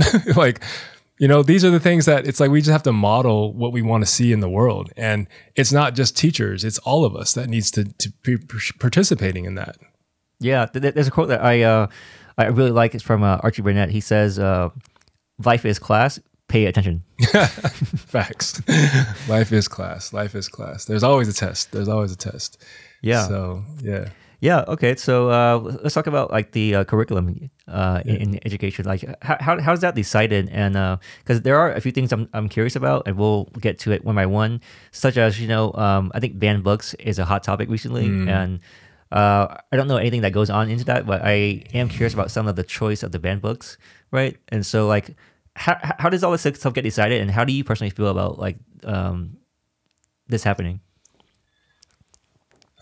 Well if a, ba- a book is banned, then I'm going to want to read it. Yeah. I, I, mean, straight up. So I don't even, that doesn't even cross my mind. I mean, I think there's topics that I'm not going to talk about in class mm-hmm. sometimes, mm-hmm. but it's not, you know, if a book is banned, I mean, facts. I'm, I'm, I'm, I'm black. Like it was illegal for us to be able to read in this country. So anything I'm not supposed to read, I'm I want to I want to read that. And I think my students are the same. I think students are the same. They like they want the thing that they can't have. So you know, I haven't dealt with that issue. In fact, because like, like, like, for example, some of the books um, that made to the, the ban list is like really surprising to me. Uh, they, they, don't even seem controversial. So I think it was like Charlotte's Web and The Giver and all these other stuff. And I'm like, that's banned. Like I, I, don't get it. I don't know who's banning these books, and I yeah. don't know where these books are being banned. But that's never been an issue for me, thankfully. Um, I've been I've been really fortunate um, that I've worked in schools that see me as this kind of uh, how would I describe myself in, in the classroom? I wear a lot of hats. You know, like I said, I I teach PE. I've I've taught you know critical media studies. I've taught sociology. I've taught ethnic studies. I've taught English. I've taught history. Um, I've taught meditation. I've I've I, I do feel that when uh, when when you come into my classroom, it's like you're just going to Mr. Carter's class. They call me Mr. Carter. They call me a lot of things, but this year they call me Mr. Carter. Um, you're going to enter Mr. Carter's mind and whatever's in there, like you're gonna you're gonna kind of be exposed to. And so um, you know, I, I am constantly freestyling and audibling. I don't follow any kind of curriculum because my my approach to education is very student centered. Um, and so I'm learning about my students and I'm creating the curriculum based on where they're at and what they know and what they're interested in. And I'm doing that every single day. I, I definitely want to applaud you for doing that um, or taking that approach because I think it takes way more effort to be student centric and versus being um, curriculum centric, right? So, because it always reminds me of this video I saw on the internet, the interwebs, a few years back, where uh, I think some some student was like really complaining to teachers, like, "We're tired of worksheets. We're tired of worksheets. Oh, what is this you're giving us? We're tired pain. of worksheets, right?" Yeah. yeah. And then it's like, we, we just t- teach us like like a human being, you know? Yeah, I mean you know that that banking model of education where it's like i'm the professor i'm the instructor i have all the knowledge and i'm going to test you on how much of what you can recite to me. That ain't it. Um, yeah. I, so so you mentioned you mentioned like being able to freestyle. Is is that something that like a lot of teachers are afforded or uh, how did you get or how, how does someone get more flexibility in the curriculum? You know because obviously you have your background and then you have like the the district that you're in right? Like where, where does the two meet as far as curriculum you know so this time I will speak to the count the camera because anybody that's aspiring to be an educator, I would highly recommend being an English teacher because then you can teach literally anything. You can audible all the time. Um, you know, if I want to teach history, I can easily do that in English class. If I want to teach science, I can easily easily do that in English class. If I want to teach what's happening on the news, I can easily do that in English class. That's it's language, it's communication, um, and text itself is its own interpretation. You know, text is not just books. Text is film. Text is music. Text is poetry.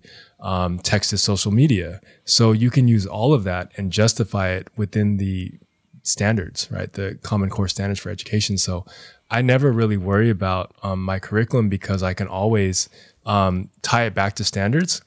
And you know, and this is this. I also have data to support this because um, a couple years back, I was hired by LA Unified, a charter school in LA Unified, to pilot um, ethnic studies classes for middle school. the twist was that I was also actually teaching ELD, which is English language development classes, which is students that are you know varying um, varying stages of of English learners, um, mostly immigrant students. And instead of teaching them See Spot run, I was teaching them ethnic studies, and they you know I can do the same structures of teaching grammar and teaching academic vocabulary, but the content is completely different. And what they found was that um, this school was in danger of getting shut down. And they found that the year after I had been teaching there, test scores went up 50%. Amazing. Just from teaching ethnic studies. And and I don't think that's just I think there's there's the magic is ethnic studies because, you know, that's what I what I was referring to in terms of culturally relevant pedagogy. It's like students want to learn about their cultures. Like my students were largely um, Central American, so mostly come from El Salvador, Guatemala. So we're learning about the Mayans, the Aztecs, and they're like, "Wait, we never learned about this before." And then we're able to tie that to things that are happening in the world. You know, at the time, you know, Trump was the president. We're dealing with all these immigration issues. Like them being able to to learn about the things that not only they're experiencing in their own home lives, but also having that legitimized in the classroom is so powerful. Unfortunately, that's not the way the school system is set up. Um, th- most teachers don't have the freedom that I, I have been able to have, as well as the the courage. To be quite honest, um, yeah, I mean, I, have taught about uh, not a banned book, but a banned word. I've taught about the N word explicitly in my classroom, and that was one of the most powerful things I've ever done. Um, at that same school I was teaching at, which I said was 99%, uh, you know, Central American, uh, Latinos from Central America, we were having a situation where students were using the N word all around campus. And as the only black person at the school, I was like, yo, this is not it. Like, let's, can we unpack this? And all the other teachers were like, yo, Mr. Carter, like, can you talk to them? And eventually I just built a whole curriculum around the word. And the students were able to apply what they were learning there because I wasn't just teaching about the N word. I was teaching about the legacies of slavery and where that word comes from. And and you know, when students learned about things like lynching, they were like, "Oh, so we've been saying this word, but we had no idea that people were getting lynched over this word. And and for some some people, that was the last word they heard before they died. Maybe I'm not going to be so cavalier about saying that word around my friends. And teachers were like, "Yo, like." I'm seeing a change in my classroom. And it's like, if I didn't have the courage to have that conversation, that level of vulnerability, like, I don't think that I, that just obviously wouldn't have happened. And, you know, there was, there were schools that were like, yo, can you come to my school and teach that too? And it's, it's something that happens a lot, you know? Wow. I, I did not expect to hear that. So now I'm curious, uh, what are some takeaways that I guess on a general or condensed manner that we can take from that work workshop? And what are your thoughts on like should the N word be said by anybody or just a, like a, a, certain group or you know just I'm, I'm, very curious right about that. Um, I mean when the way that I, I approached it was like I'm not there's there's 300 of you kids. There's one of me. I'm not going to be over here policing y'all about the N word, but can I give you some resources to think about it? And for you to be able to hold it in context and give it give it you know you be able to formulate your opinion from that. So I, I, I not only gave the you know opinions from people like kendrick lamar right who they can obviously connect with and kendrick lamar is like nobody besides black people should say the n-word then i gave them resources from cardi b who says i'm a latina from from new york. I should be able to say say this word. And they were able to draw their own conclusions. But what i loved seeing was that they were able to just you know some of them checked themselves. Some of them felt like, oh no, I, I agree with Cardi B, and I did. I wasn't mad at them. I was like, yo, as long as you think about it, because you weren't thinking about it before. I, I assume you weren't thinking about it before. Um, but my feeling about it is that, yeah, I mean, historically, like, you know, my father lived through that word, right? And he grew up in Mississippi, where that word has so much power and I think it still has a lot of power. And even though we've reappropriated it and it has become part of the common lexicon, I think understanding the word, saying the word without context is inherently problematic. And I cringe when non blacks use the word because I honestly don't think it's appropriate. Um, you know, I, I, I do recognize that in you know you grew up in community it happens you know and and I, I don't i don't like hate on people that use the word you know but I, I, I can tell when somebody is using it in a way that just feels like amateur like you haven't been around enough black people to even to even understand that word in context and you've never been a nigga. Like you've never been that and been called that and demeaned in that way. So it's for us to reappropriate reappropriate it not for you to use it as something that makes you feel cool. Um, if that's what i'm assuming that's why you use it but um, yeah i mean it's it's it's one of those things where i'm not out here trying to police it i'm just like can we have some consciousness around it? Yeah, uh, great points. And so, uh, what are your thoughts on like its usage in music, especially in the I guess the current generation of hip hop? You know, uh, which I would assume that there's a lot of non-black people that's being exposed to it, and you know maybe they feel the urge to say it. I, I, I don't really know. I'm just assuming, right? Yeah. So I I will always refer to Tupac, and it's our it's our you know understanding of the word, right? never ignorant getting goals accomplished, right? Like that's a re, you know, a reappropriation of the term. Never ignorant getting goals accomplished. And you know, like Tupac is someone that comes into my classroom a lot. Tupac, you know, Nipsey Hussle, these these these heroes, and I will point to them and and you know they obviously use those words, but look at the entire context for which they you know they're they're practicing um, their their art, right? And so that's a, another part of it in terms of hip hop. It's like as an educator, part of my job, or not even just as a teacher, but as a as a participant in in, in the culture, it is it is my job to educate young folks on the the the growth and the birth and the you know the transformative potential of hip hop and to understand that what's on the radio isn't the entire you know spectrum of hip hop hip you know hip hop is you know I, I can legitimately say hip hop saved my life because of the stories I shared with you earlier. Um, and so I'm for that reason I'm I'm incredibly protective of it. I'm very possessive of hip hop because hip hop was for us as disenfranchised, oppressed people as a as a form of communication, as an art form, for us to overcome those oppressions. It wasn't meant to be selling, uh, you know, sneakers and and Pepsi ads. Like the way that corporations co-opted hip hop is absolutely heartbreaking to me. And so when people think about hip hop and you know what it is and what the image is, you know, it's it's one aspect of it, and it's not the one that I feel like is the best representation of us as people. Uh, unfortunately, and so um, I hate that some of the hip hop that is out there gets so much airplay. Um, to be honest, agreed.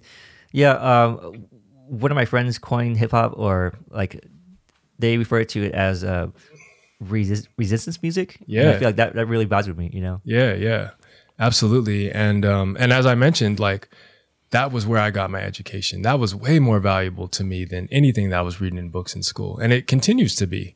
You know, um, you know, Chuck D calls it the Black CNN. Like this is this is where we learn about the world. This is where we had a platform, was hip hop music. So I can't hate on you know. Stu- I don't focus on the language that they might be using. I mean, to obviously the content, you know, I, I want it to be creative.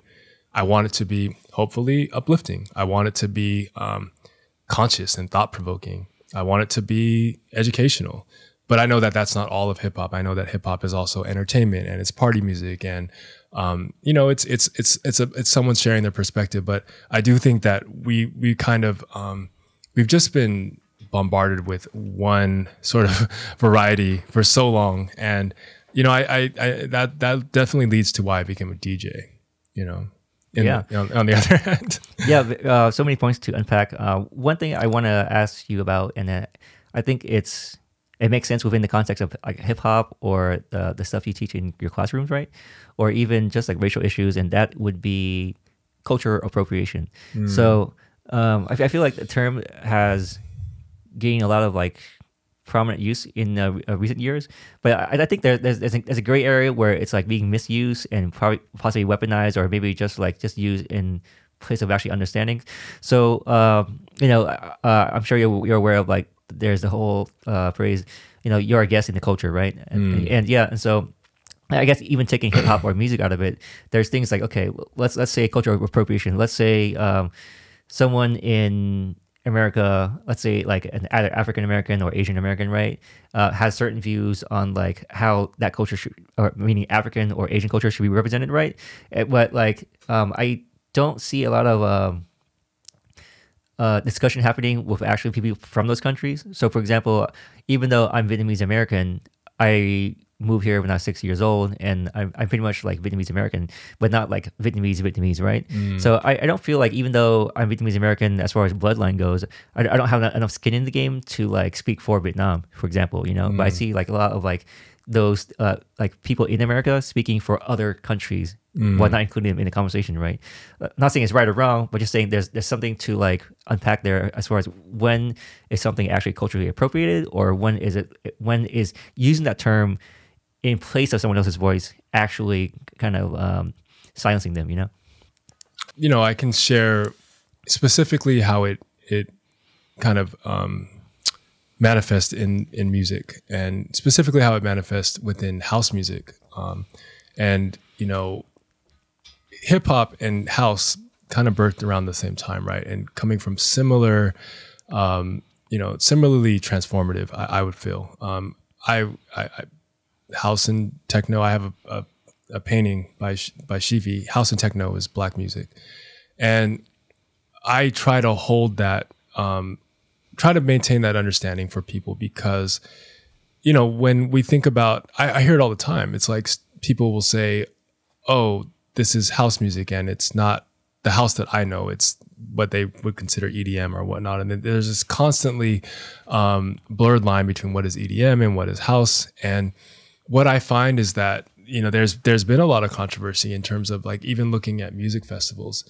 who are the you know the the the, the headlining acts. You don't see a lot of black DJs um, in these in these you know in these spaces. And so one of the problems is that the people that are creating the culture are not getting recognition you know and it's also and i would argue in some ways taking away from what the root of the culture was.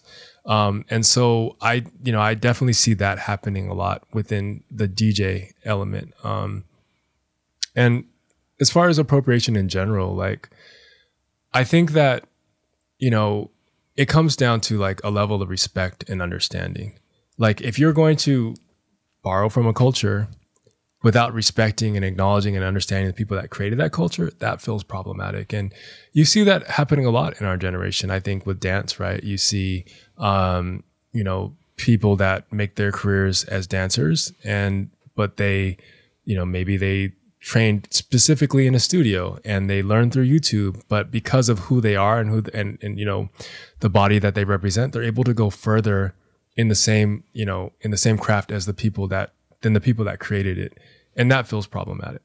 When I think of culture appropriation, I think of examples where someone takes on the identity of like, okay, uh, I really like this culture, therefore now I'm like that, right? You know, wh- whether I'm white, I'm black, or I'm Asian. You know, uh, I guess in the other example I was thinking of, let's say if you're a non-Asian person in America wearing um, either an ao dai or chipao, uh, right? Wearing a what? uh, ao dai or chip- It's like the the uh, the garments in China or Oh, Vietnam. okay. Yeah, you know, like the, the dresses like the, uh, women wear. Mm. Yeah. So let's say that you're a non-Asian in America wearing one of these out garments, right?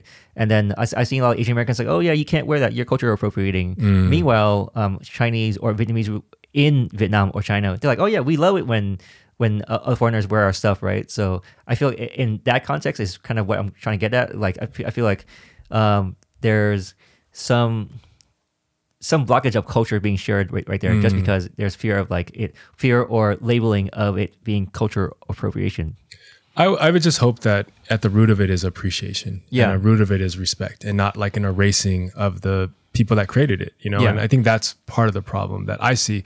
And you see that a lot, even, you know, I, I mean, I have some friends that are, um, you know, in cooking and you see that happening where certain things are being appropriated people's dishes and they're not being attributed to the actual culture that, that, yeah there, there was a, an uh, i guess speaking of food and vietnamese there was some group or family out there that tried to trademark the word pho. Oh, And I was like, "Are you shitting me?" Yeah, now?" yeah, yeah. So- so I, I definitely see where you're coming from. I guess the, the area that I was trying to find out is like people who are generally connected to, to that culture, right? Um, but they're being labeled as cultural appropriation by people that don't, don't know them, just just from like a surface level understanding. You know? Well, I mean, I think this is the, the world we live in Yeah. cancel culture, people labeling everybody. And, you just have to know if you're doing that work in your heart and only you can know that you Yeah. know and the people that are around you they should also recognize that and that's all you can really do you can't worry too much about what other people are thinking if again you're coming at it with the right intentions and it is rooted in respect it is rooted in appreciation then Yeah, that's, that's a good point. Um, you know, I think I think you just made me realize that maybe uh, what I'm wondering about or noticing is like the cancel culture movement, kind of overtaking other other um, other movements, right? And just kind of like overriding their voices. I mean, it's it's it.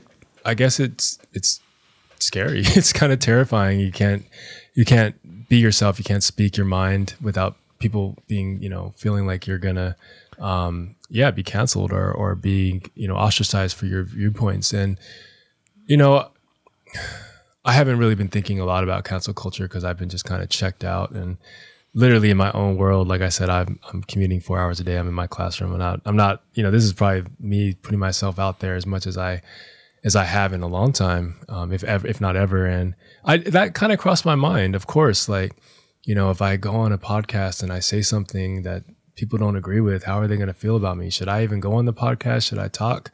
and you know I'm, I'm definitely trying to be rooted in in my own courage of saying hey like even if you don't agree with me you can understand that i'm coming from a place that is like empathetic that is um hopefully like with the right intentions. And we can have a dialogue we can have a conversation we can we can learn from one another. Just like my grandparents they evolved in their perspectives on race. We're all capable of that. And you know I, the, the, I think one of the problems with our society right now is that we just identify so strongly with our identities. And a lot of them happen to be um, political. Um, and when we get so sort of fixated on what it means to be this and what it means to be that that we're not able to think and recognize the commonalities really. I mean we're just so focused on divisions and that's not going to get us where we want to be as a as a species ultimately. It's not going to get us where we want to be as a society. So you know just again like having the courage to to make sure that you're coming from a good place but to be able to speak uh, speak how you feel you know Yeah, yeah. Uh, with that said, I definitely appreciate you coming on the podcast and being uh, be comfortable with all this because I, I know it can be a lot. I, I run through those thoughts um, before every episode. no i mean it's it's real it's i mean we live in some some wild times and you know it, it does make you feel like man i just i don't want to hover and cover myself up and, yeah, I, I think don't all the time, like, yeah, I know. I, I think all the time, like, does, does me saying this one thing uh, or have this topic gonna get me canceled? I think of it all that. But you know what? I, I can't. I can't control what other people may perceive, but I can't yeah. control um, to show up as like as genuine as I can. You know? yeah yeah Yeah. yeah Um, so y- great response uh, on the topic of curriculum. I also wanted to ask your thoughts on race, specifically um, critical race theory. Like I, I, I tried looking it up, and uh, I'm not really clear on what it is or isn't. You know, I, I do want to acknowledge that part of my curiosity is from seeing so many news outlets speak negatively about it, and so that makes me wonder: is there an agenda happening, or what exactly is it? Because um, uh, I, I think it might be a new term. At least it was not a term when I went to school. Yeah. So, like, could you help me understand what exactly is it, and and I guess how how is it different from like teaching more full, comprehensive, and accurate history? You know, because I, I really don't know what it is. well i mean I, I think in the term critical race theory has been completely weaponized and Yeah. So that, that's, know, that's where I'm, I'm, I'm, I feel like it's, it's it it got robbed, whatever it is. You know. It's I mean, it's it's very cringeworthy for me. Um because when when when you asked me about that previously, I was like, do I even know what critical race theory is? And and I only say that because I've been teaching that way my entire career. And, you know, critical race theory, I mean, unpacking it further, it's based on the notion that there's no biological basis to race. However, race is real in our society because we make it real. And a lot of people don't want to reckon with that fact. We, in terms of race in America, it's been a very, the situation is always in whatever's convenient to the dominant, you know, system. So, you know, earlier in the development of our, our country, like so much of the policies were based on the idea that there were separate races, that blacks are not the same as whites, therefore they deserve to be enslaved, and Native Americans are also not the same, and therefore we can have, fulfill manifest destiny. When it was convenient to the dominant culture, race was real. now fast forward and people don't want to talk about race although it has absolutely defined every aspect of our society today and it's like you can't just talk about you can't just decide that you you don't want to talk about race when it's inconvenient to you or when it makes you feel uncomfortable like so in my classroom I've never thought about critical race theory because I've always wanted to teach a curriculum that spoke to the truth, that spoke to honoring the history of everyone that was involved. If that's controversial, then y'all should fire me because I don't know another way to teach. The way that I was taught, where it was like, let's learn about the Mayflower, the Nina, the Pinta, let's learn about, you know, our forefathers and Thanksgiving, like that shit's out. Like I'm not teaching that. Um, and so, yeah, I mean, if that's controversial, then you know, I'm sorry. it, one of the things I, I, do think about is, is, you know, and talking about being canceled, I, I, I, absolutely feel like I'm kind of a secret agent. You know, I, I work for the system, but I, I don't work for the system. And, you know, I, I am, I'm constantly trying to dismantle these stories. Um, that's the work that I do. And so if that's controversial, then yeah, I'm sorry. But the system that you want me to teach has not been working for so many people. So I'm going to teach what I think is not even what I think, but what I'm going to not be afraid to explore what's out there. And that's why students, for lack of a better word, that's why students fuck with me because they realize like, you know, like teachers will always ask me like, why don't you have behavior issues? And I'm not to say that I never have behavior issues because kids are on their own journeys. Like facts. But for the most part, I don't have a lot of behavior issues because when kids come to my classroom, they're like, that dude's not wasting our time. That dude is actually like sharing knowledge with us. Like, why would I bankrupt that right now? Um, and so, you know, my students, if they're my customers, my students, my customers are pretty satisfied. Um, so, you know, I, I, like I said, I, if, if it's controversial, if it's, if it's a problem, then I'll probably just leave teaching. Yeah, yeah. Like, uh, uh, okay, so let's backtrack a little bit. Like, is critical race theory a set of like predetermined curriculum, or is it uh, applied to certain topics, um, or or is this like a label that some external group created to weaponize it? Like, I think I, you know, I, I don't know exactly. I think critical race theory like started as you know, because I, I studied sociology, so we had critical conflict theory, and this was based on the idea that, you know, society is based on exploitation, you know, and we can see that for sure. We can see the exploitation. We can see the conflict that uh, exists because of exploitation and things like capitalism and inequality. Um, so I think that critical race theory is just an extension of that sociological theory. I may be wrong. So I don't think it was always weaponized, but I think more recently it's been like CRT this, like why are they teaching us about slavery? And it's like because this shit happened, yo, and like we need to deal with that. Yeah, like you know, and and and and that's the thing. Like uh, you know, there's so much knowledge out there. There's so much information. Like why are we limiting ourselves to what's there? It's because we're uncomfortable. Like you know, obviously it's there because it's there for us to learn from it. And you know, one of the most you know like I was very fortunate to go to college and be able to study things like sociology and ethnic studies because I was like, yo, I'm finally getting an education. And, you know, if you were to really learn about slavery in the ways that I've had the privilege of studying slavery, it will make you feel completely different about every aspect of the world that we live in. And the fact that humans could do that to another group of people, not thousands of years ago, but just a few generations ago, you know, and then to even move forward to things that were happening during World War II, it's like, you know, and during the Vietnam War, like we don't want to talk about these things. Like these things were not that long ago.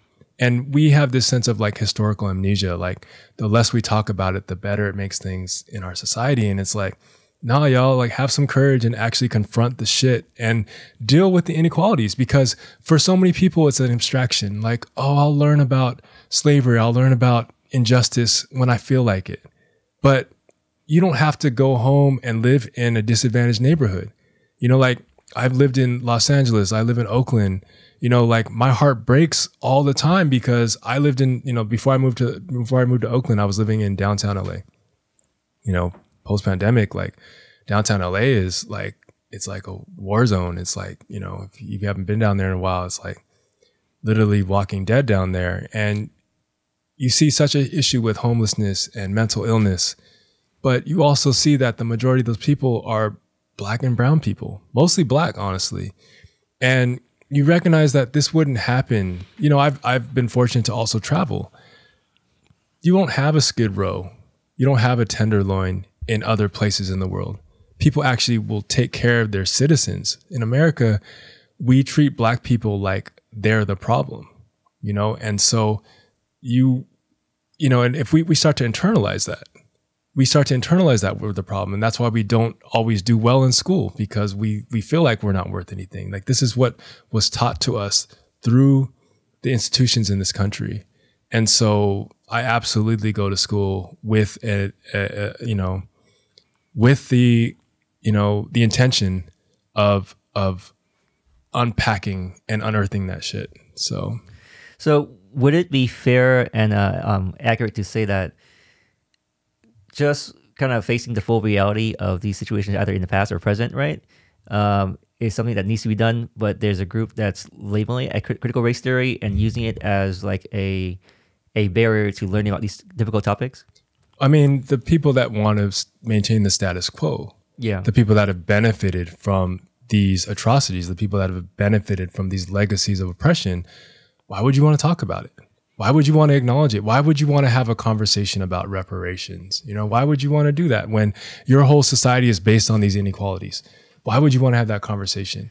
Um, and so this is why I, I, you know, I became a teacher because, you know, there's there's a there's a fight that is not that is not optional for some people. And you know, like I I think when you asked me why I became a teacher, I do believe I could have become a lot of things. I I wanted to study marine biology, like straight up. So I went to Hawaii. I wanted to study marine biology. And to be honest, before I can save the whales, I got to save my people, you know, and I got to do what I can to save my people. And, um, you know, I, I, I think there's a lot of people that, that have that burden. Um, and unfortunately, like I said, like a lot of the work comes down to, you know, we have to do a lot of the work and it, and it shouldn't be that way. It should be all of society doing this work not just the people that have been the most affected or the most oppressed by it. Yeah, I completely agree with that. So, like, uh, well, that's, that's very insightful about critical race theory. So, it sounds like your your experience in the classroom is completely different different from how certain organizations in the media portrays it, right? Because I've I've seen a lot of stuff like, oh, uh, critical race theory is brainwashing our students, and all these parents are pushing back. But it seems like it's actually helping your students. um, so that, that's that's really good to know. I'm glad, I'm glad I asked you because I was like really on the fence. Like, I don't know where this term came from, but it seems to be like a buzzword in all the the news outlets, right? And so that's when I was like, all right, well, well, I'm being told not to listen to this, so therefore I think I should go into it. yeah, let, let me get on the news. yeah. um, um, so, uh, yeah, how how do you manage your students? Because um, one of the questions I, I did want to ask you is like that you have as far as performance wise, right? You have your top performing students and then your lowest performing students, right? And then with that, th- there might come certain behaviors, whether it's like attendance or it's rebellion. Like, how do you manage that as a teacher? Because I'm sure that's that's it takes a lot out of you. So again, like I'm, I'm in, you know, just like the beauty of the universe, and me being the teacher that I think my students need you know, I love the kids that are the hardest. Like those are the heart students, right? Not the hard students, but the heart students. And those are the ones that um, I always have the most patience for because I can see myself in them so so often. You know, that I, I never want to give up on those kids because there's so many teachers that gave up on me. So I have I definitely have a certain level of patience and a certain level of empathy for those kids. And so um, you know, but I see I see the potential in every single kid you know, the same way I see the potential, I had to see the potential myself. And that's been a journey in itself, right? To believe in myself. So, you know, I, I, you know, I think I treat every student individually, but I do believe they're all capable of getting to the same place. It's just they may get there differently. For a students, uh, or for students who may not believe in themselves, how do you get them to reach a point where they start seeing that hey i can do this or i'm capable of this? Like how do you get there? Because i think that's uh, that's very valuable. So this is my favorite one of my favorite educational terms but it's the zone of proximal development. And it's this notion of like you help people you you meet people where they're at you meet people where they're comfortable at and then you challenge them from there. I use the same theory when i dj it's like when i'm djing i'll play music that i feel like people are comfortable with so that i can take them somewhere else but that's all it is it's like everybody has different modalities different ways of expressing their intelligence so as a teacher if i can understand my student and tap into what they're good at then i can take them where they eventually need to go so I'm, you know, I'm, I'm incredibly fortunate to, you know, I play video games with my students. I play sports with my students. I have a lot of ways to get, you know, I, I share music with them. So I have a lot of ways in helping to affirm their, you know, their intelligence, their value, um, you know, and, and I think that goes a really, really, really long way in terms of students developing confidence in the classroom. So I'm hearing uh, one key thing that you're mentioning is you're seeing students where they're at, um, not just like capability, but like who they are strength wise, right? So they feel like knowledge, they feel recognized in that sense, and mm-hmm. that gives you that gives them some confidence. Like, hey, if I'm good at this thing, maybe I can apply this to something else, right? Or maybe I can grow forward from here. But at least um, they're being seen and not just forced into like, hey, you need to take this test, and if not, then you're a failure or something. Yeah, I, have never given a test in my classroom. I've also um, you know, I, I do give grades, but I don't care about grades, and and I think they're just an arbitrary idea. It's like that's not it. That's not what it is. It's like, did you learn? You know, I don't need you to, you know, you know, I I can measure a student's progress just by working with them, and I can measure things like their effort. You know, I don't need to have um, just a test. It's like to because you scored a certain you know measurement on that test regardless of everything that else is that is happening in your life you know that's why standardized testing are hugely problematic yeah i i uh, i learned something a while ago that like or to support your um, statement that standardized standardized testing is problematic right is you know let's say if you ask a student what's half of 13 and a lot of them might say like six and a half or 6.5 and so forth. And some of them might say four. And then according to the standardized method um, they would be inaccurate right? But if you talk to them more meaning qualitative right not standardized yeah. you might you might be okay well this person said six and a half and 6.5 why did you say four? And then they'll make they'll be like well half of 13 13 is eight uh, uh, the word 13 is eight characters right? So half of 13 is four. And, and, and, they're like, and you're like, whoa, like you actually answered the question in yeah. a way that was previously un, unrecognizable, right? But they actually answered to the full degree. Right. Yeah. Right. So, so it's amazing that, um, it, amazing and unfortunate that a lot of, um, those kind of students are probably getting like very under, underneath all this standardized crap, right? Yeah, no, it's, I mean, and, and they, they've, you know, they've done tons of studies that, you know, standardized test scores like SATs are not a measurement of any sort of intelligence, their measurement of resources, you know, mm-hmm. and, and it's pretty clear because, you know, you can take SAT test prep courses that cost a thousand dollars and you can score higher on your test, your SAT.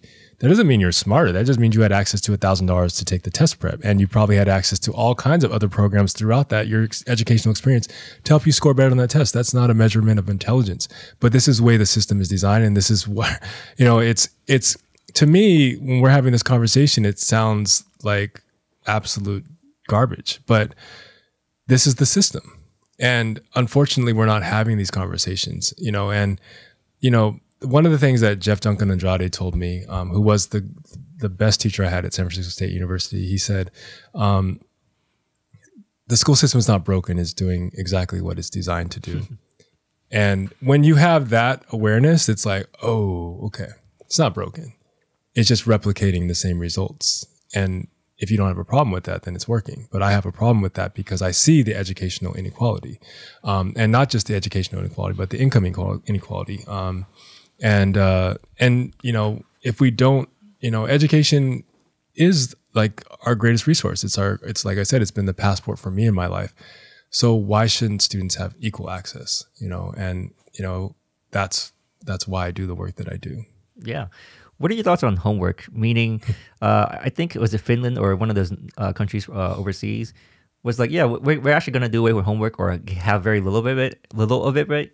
And then um, those students actually ended up becoming much more curious because they had like more playtime. They had they had time to go outside and interact and learn how to like investigate. You know, uh, that was their, their homework, so to speak. Whereas in America, it's like yeah, homework, worksheets, and all this other stuff, which um, you know, it sounds like it, it will make sense, but uh, yeah. So I guess yeah. What, what are your thoughts on homework? The only homework I ever uh, like assigned to students is just reading. That's it, because that's that's the, that's education that can happen anywhere. And you know, I, I agree with that. Like, um, you know, school, students are in school long enough to be quite honest, and you know, when they get home, I can't control any of the variables, and so knowing that my students come from different experiences and different backgrounds, like I grew up in a incredibly impoverished home where if I were asked to do homework, like how can I do that when I don't even get to go home after school because I my my dad lives um, in a different or he works in a different city. He doesn't I don't have a ride home. I don't live in the city that I go to school in because my parents can't afford to live here. There's all these different experiences that, you know, maybe you have to take care of your younger brothers and sisters because your mom's at work. Like and I'm gonna assign you homework and then penalize you if you don't do it. Like, nah, like make some time to read and that should be self-motivated um, and you know and and again it's like i haven't i haven't recognized a place where my students weren't achieving because i didn't assign them homework so Yeah. when i get off work i don't want to do homework either so well, what what are some things that you do to nurture curiosity? Do you like present certain topics, or you find a way to relate to their, what their interests are? Uh, completely. And I, like I said, I the way that I've been approaching this school year is through the notion of epistemology, which is why do we know what we know? And I've been using that to inform all of my curriculum this year. And I actually wrote down some of the things that we've been studying um, this year. I, I actually want to share it with you, the list. Yeah, please do. we've been studying zoochosis. What is that? I That's know what like that is. the mental illness that animals experience in the zoo. Oh wow. Yeah. you, you know, like, uh, you know how we have guinea pigs. Like, so apparently, guinea pigs are very social creatures, Mm. and in some countries, it's they they ban the sale of single guinea pigs because if you get a single one, uh, or yeah, single one, they require a lot of social interactions, and if they're just by themselves, they get depression and they'll die early. Wow. Yeah, so that, that's, that's that's a very that's a, that's a, that's a new uh, uh, understanding for me for sure. Well, part of that, part of the motivation for talking about psychosis was to help students understand that humans are also animals and they experience the same sort of mental illnesses that we do. And so if these animals are in cages and they're experiencing mental illness, what kind of illnesses are we experiencing as a result of our society that has its own forms of cages? And that was like how we started the school year. so absolutely based on curiosity, but um, anthropocentrism, propaganda, manifest destiny, oppression, xenophobia, Eurocentrism, gentrification, redlining, social Darwinism. Uh, we've talked about Fred Hampton, Tupac, J Dilla, Nipsey Hussle, Tecumseh, Kobe Bryant, Malcolm X, Sojourner Truth, Frederick Douglass, and we've watched Ip Man one and two. We've watched Fist of Fury, Avatar, Princess Mononoke, Percy Jackson, and we're reading Ishmael right now. So this is, you know, it, it, in my English classes right now. Wow, that sounds amazing. I, I, I want to be in your classroom. Yeah, no, I, I, I like I, I get to learn alongside my students, and as I said, I, I want my students to have access to a college level education, no matter where they're at, you know, and whether they're in ninth grade. I don't know if they're going to go to college, so you know, I was having a lesson on gentrification, and you know, just the other day, and my student was like, "When am I going to use this word?" And then he's from East Palo Alto, and I'm like, "Well, haven't you noticed rent going up in your neighborhood?" He's like, "Oh yeah." That's excellent. So I, I see that you're um, preparing them for the real world, right? The real world Yeah. and what uh, what they're going to step into that that's beyond like engineering or beyond doing your job. It's like this is, yeah this is the real world right here. Yeah, I mean, I, I Paulo Freire says we teach the word and the world, and you know you can do both. And so I definitely teach academic language and academic literacy, um, and I want my students to do well on their SATs because that's going to give them access to college. But at the same time, I'm like, I got to teach you about the world, or at least I got to make the world accessible to you within the classroom because you don't just live in this classroom, you live in the world, and you need to be an informed citizen. You need to be able to make decisions, and you need to understand what you're getting into, you know, and and a huge part of you know what I I look for. I didn't get it. I'm not doing this yet, but I can't wait to talk about social media with my students because that's a place where we're all existing right now, and like that should be in the classroom. That's why I teach English because I can I can have that I can have that class. Yeah, can can we get a preview of what you might talk or bring up for social media? I'm, I'm curious too. I mean, I haven't developed this, so you Yeah, gotta yeah. ask me in a couple weeks. But Okay. uh, definitely, you know, getting their voices and understanding how they've been experiencing it. And, and, you know, you know, the interesting thing about my school right now is that, um, I'm teaching what's labeled as special ed, but it's special in the sense that, you know, it's not the, the, the general like, um, issues that students would have in a special ed class. I'm dealing with a lot of students that have like anxiety and depression from the pandemic, or students that um, also are, you know, like I said, black and brown students being, you know, disproportionately diagnosed as special ed. I'm dealing with just a lot of students that are dealing with trauma.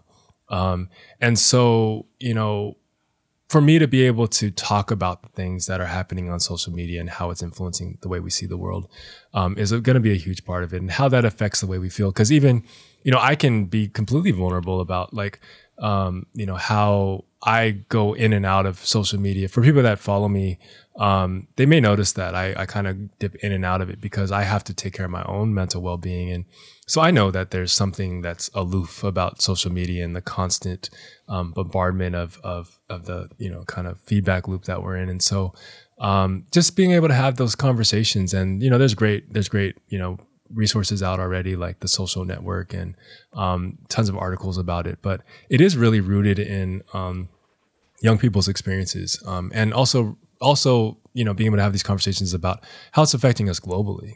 You know, because uh, even in places like China and Korea, they have like uh, probably social media, but for sure they have video game like addiction boot camp and you know that's that's China some, definitely does. Yeah, yeah. So you know, and and and video game addiction is definitely something that we're experiencing with kids right now.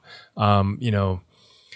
Yeah, you know, you know like speaking as a uh, survivor of video games, uh, when when World of Warcraft first came out, man, I, I call that um, the dark ages of my life, where like uh, like I, I, I full disclaimer, I, am no longer an addict. when, when it first came out, I, I played like um, I started playing this like the one week after it launched, right? And I played straight for like four or five years. Oh my gosh! And I remember there was times when um, my friends would come pick it, pick me up to you know we go out clubbing or dancing or whatever else outdoor activity, right? They're like, "Hey Vin, we're outside," and I'm like, "Hey, um, can you wait?" They're like, why? Why? Why do you gotta wait? We're outside. It was like I'm in, I'm in the middle of a raid, you know. and, and, then how it's set up is like within the social construct of those games, if you leave your party, like you get you get a lot of grief later on. yeah, yeah, yeah. That, I mean, that part. Um, and and I think that's the thing. Like students, you know, being able to diagnose it as an addiction because we we've kind of been living in this world without you know kind of the wild west when it comes to social media and video games to a degree and now we're starting to get some like longitudinal studies about the effects and um, you know the kind of anxieties that it's creating for young folks and especially you know issues around body image and and, and comparison you know and you know it's not a healthy thing for any of us to be you know consuming as often as most of us do um, but especially for young folks where their brains are developing their ways that they're seeing the world. Yeah i i feel uh, very fortunate to and proud to have grown up in a time where like I, I think I'm uh, maybe us both are like in the hybrid between the digital and the analog world. We're kind of the bridge in my, in my opinion. Are we called the Xennials or something uh, something like that? Where, but it's true. We we are a really unique, uh, yeah, really unique generation of of humans right now because, you know, I did talk to my students one day. I was like, "Do you guys ever play outside?" They're like, "What's that?" and that that like literally blew my mind because I, I mean obviously like you and I probably remember playing outside until the streetlights went on or or beyond. Yeah, in, uh, back when I used to live in Vietnam, like I, I even played outside in the rain. Yeah, like like it was, it was a common thing. Like when it rains, everyone's like, "Oh yeah, great rain, let's go play outside and run around in shorts." And then there, there might be flooding here and there, but it's all good, uh, you know. Right. But now like you look outside, you're like, oh, it's really nice. I'm gonna go on TV. yeah, like well, I, I was like uh, living near my near my niece uh, last year and seeing her having like drama with her girlfriends on social media or on on on games online, and it's like, yo, we never had that. Like, so you know, we're li- and and in that way, it can be even more insidious, unfortunately. Um, and so having the conversations, especially with my students who you know are experiencing anxiety and depression and um, you know, I teach in a, you know, a, a, a, school district where suicide is actually a really prevalent issue.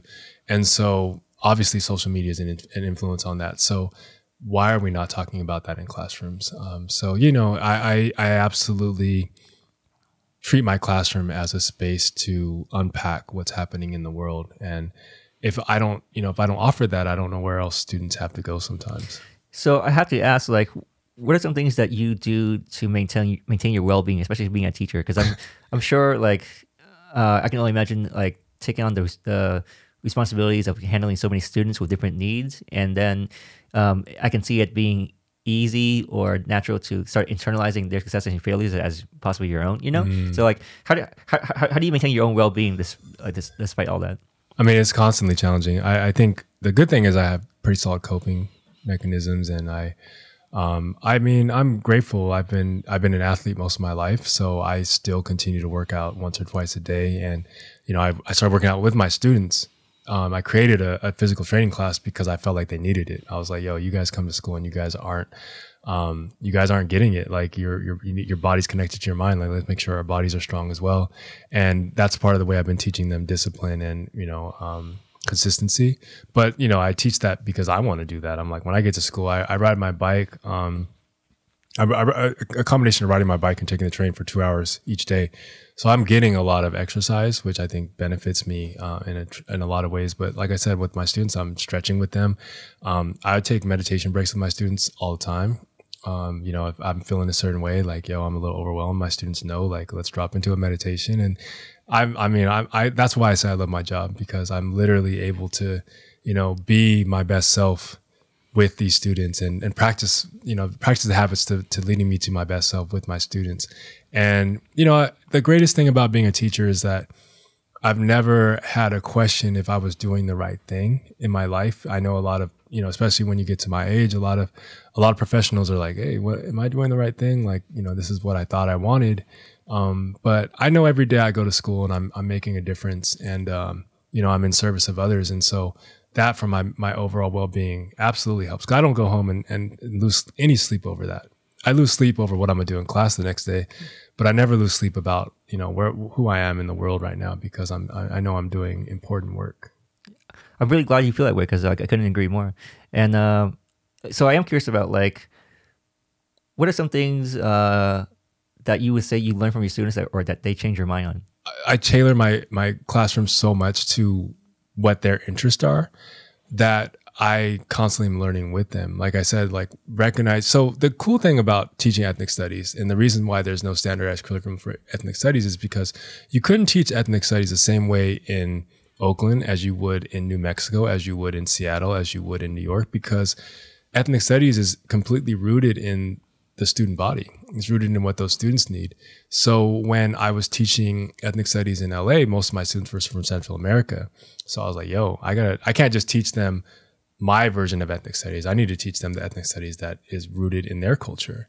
And so I was learning so much through that experience. Um, and you know, um, you know, just this year, like I didn't expect to come into the classroom and, and teach Ip Man and Bruce Lee, but you know, one of my students showed an interest in it and he was a student that wasn't coming to school. And I was like, well, you showed me enough to tell me that you like that movie. I'm going to bring that in the classroom and I'm going to help intellectualize it for you. But I'm going to get to learn about it alongside with you. And we're, you know, like we're, we're kind of sharing the journey together. So it's been, you know, that's, I, I, I'm learning every single day in my job. Um, and I, I get to read great books, you know, like I'm reading the Nipsey Hussle autobiography with some of my students and, um, you know, I don't know if I'd have time to read that book, but you know, some of my students have interest in it, and I'm like, yeah, let's go. You know, and so um, it's a constant thing. But um, also just learning, you know, from them in in in the social emotional ways of how they deal with the world, how they see the world, having empathy. You know, like I have students that are. This is this is a trip. Um, this is the first year I've experienced this, but you know, I do teach special ed, so I have students that have um, you know, obviously autism, um, ADHD, but I have a student that's a paraplegic, you know, and I have the full range of students that I'm working with. And so, you know, one of my students that, you know, is paraplegic, like I work with him and I'm just learning gratitude. I'm learning to be grateful for me being an able bodied person that is able to go to work and teach and the, the opportunity to even just work with him. Um, and so I, I'm, i get to have these really um, close relationships with my students, and I, I, I learn from them just the experiences that they're having I absolutely, you know, kind of, uh, yeah, I take I take a lot of that in sometimes. So You know, mad respect for uh, you being in a space where you can see these, I guess, differences or maybe even challenges as like a um teaching moment rather than a frustration. Yeah. no, Yeah. I mean, I mean, it's been it's been a, a beautiful journey. Like I said, the the students that are the most challenging are the ones that I I remember the most. You know, and I remember this kid a couple years ago. He hated me What, what, what did he hate about you? Was it like because I would challenge him. okay? because I didn't let him get a, get away with all his shit, and I, I he hated me for that. and I would call him out, and I'd let him know when he was being an asshole. And uh, you know, but by the end of the school year, he was like, he was thanking me so much, and he and he had so much. He's like, I just want to let you know, like, I respect you so much, and yeah, Do you, do you think uh, he felt seen by you calling him out versus like just kind of pushing him to the side? Yeah, because I see, I saw his potential, and I see every kid's potential. I see every single kid's potential. I'm I'm grateful that I haven't reached a point in my career where I don't see that in kids. I see every kid's potential, no matter how where they're at, no matter how much of an asshole they can be. Sometimes I always see their potential, and with this kid, like everybody had given up on him. They're like, "Oh, that kid's helpless. Like his family's jacked up. He's he's jacked up. His brothers were the same way." And I was like, "Nah, like I'm gonna be hard on that kid because he needs high expectations. All y'all are giving up on him, and you know he was able to you know make it through eighth grade, and and like I said, he, you know, it meant so much to to have him come up to me at the end of the year, and and you know you don't often get that, but. But yeah, I mean, it's one of those those situations where you know that you're you're doing the right thing, and you you literally made an impact on someone's life. Amazing, I love it. Let's let's uh, jump over to your artistic musical career, and then uh, you know whether we want to talk, talk about DJing life or Soul Source in particular. Yeah, Yeah, I, I love Soul Source. It's yeah, like- yeah. So, like, uh, not sure if this story has been unpacked yet, but yeah, tell me all about Soul Source, man. Ah, so Soul Source. Well, I think I should tell you. Well, first of all, thank you for throwing Soul Source because I always have a good time when I go. I'm glad. I mean, For it's- anyone it's- who hasn't gone, uh, it's usually in LA. Uh, definitely go Soul Source. I'm sure you can find it if you search on uh, Google or Facebook. yeah, it's it's it's it's our baby. Carlos, Mr. Choc, Vantron, it's our baby. Um, and uh, I mean, I think I should I should share why I got into DJing to to kind of fully understand why Soul Source exists today Okay. for me. Um, yeah, so Soul Source. I mean, I, as I as I was saying, like wanted to start with the story of how I became how I got into DJing, and um, you know, my father, my both my parents were musicians. Um, that's the part that I I, I want to acknowledge as well. My mother, um, you know, as I mentioned, being adopted from China, from Hong Kong, she um, she did study uh, classical guitar and played the accordion um, in high school, and so she, she had a pretty you know um, robust musical background. And then my father was um, a drummer, and uh, he was actually a drummer for the late Teena Marie, which I'm not sure if you know who that is. Oh, really? Yeah. So that was my DNA. That was how I understood music was through my father being a dancer as well. My father was a, a really well known dancer um, um, back at home in Mississippi, and but he was also known as a phenomenal drummer. And uh, you know, so when I was growing up, it was like you know listening to my father, sort of um, you know he didn't he didn't play in the band when uh, I was growing up, but he would constantly be drumming on tables and and you know car steering wheels and in the kitchen with with a pair of spoons. And you know that was sort of my musical memory of of, of music and beats and drumming.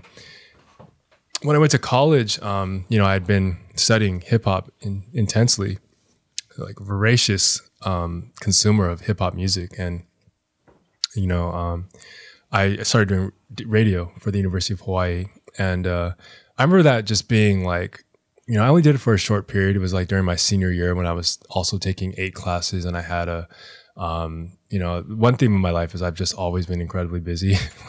so that's why I'm teaching and, and DJing full time as well, um, or DJing, doing, doing projects like Soul Source as well. But, uh, I was, I was doing college radio and I remember this feeling of, um, you know, when I would play music, this kind of spirit would come over me.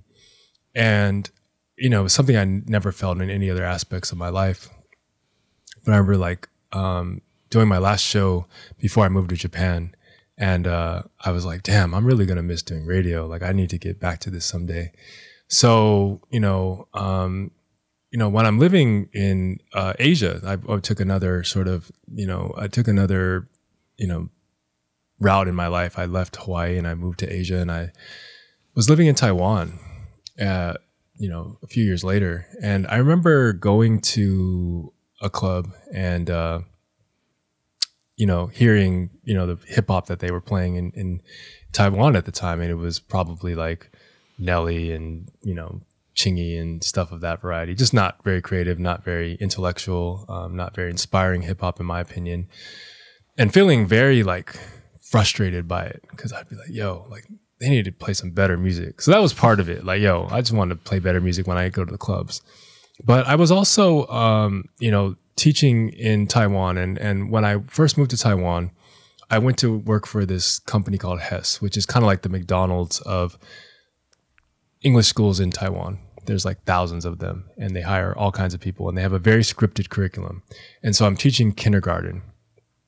And one of the lessons I had, this is why I'm I'm so cavalier as a teacher today, is because one of the lessons I had was I had to teach my students that oh the uh, the police are are here to protect us and the military is our friends. And going back to the story I had about police brutality, you know, I, I, had a very visceral feeling about teaching that. I was like, I can't teach these lies. And it doesn't matter that they're kindergartners in Taiwan. Like, this is not speaking to my soul. So I had to leave. And um, I remember um, pretty desperate to, to find a new job because I was living in Taiwan. I was there by myself. I didn't, you know, I was like, if I quit this job, I'm just kind of out here. So there was a, a, um, a foreign school, or international school that was hiring. And, um, I knew someone there through playing basketball. That I knew someone that taught there through playing basketball, and I was like, "Oh, yo, like your school's hiring. Like, can I, can I apply?" And he's like, "Yeah, like send me your resume." So I sent over my resume. I've I've already I was the director of uh, kindergarten programming at the YMCA in San Francisco prior to moving to Taiwan. I already had a master's degree in education. I was you know honor roll in in, in um, doing my bachelor's, and so the school sees my resume and they're like, "Oh, bring this teacher on. He's dope." The other teacher gives them one caveat. He says, "Oh, I just want to mention that he's black," and they're like, "No." So they wouldn't even interview me because they were worried about the perception um, that the other students or the parents would have of having a, a black English teacher. And I'm over here just trying to survive. I'm like, I can't teach at this other school. I need to find another job. This one is not going to hire me because I'm black. And I was in such a desperate place. I remember writing a letter to the administration there, essentially apologizing for being a black person that was applying for the job. Please, can you hire me in spite of the color of my skin? I end up getting the job.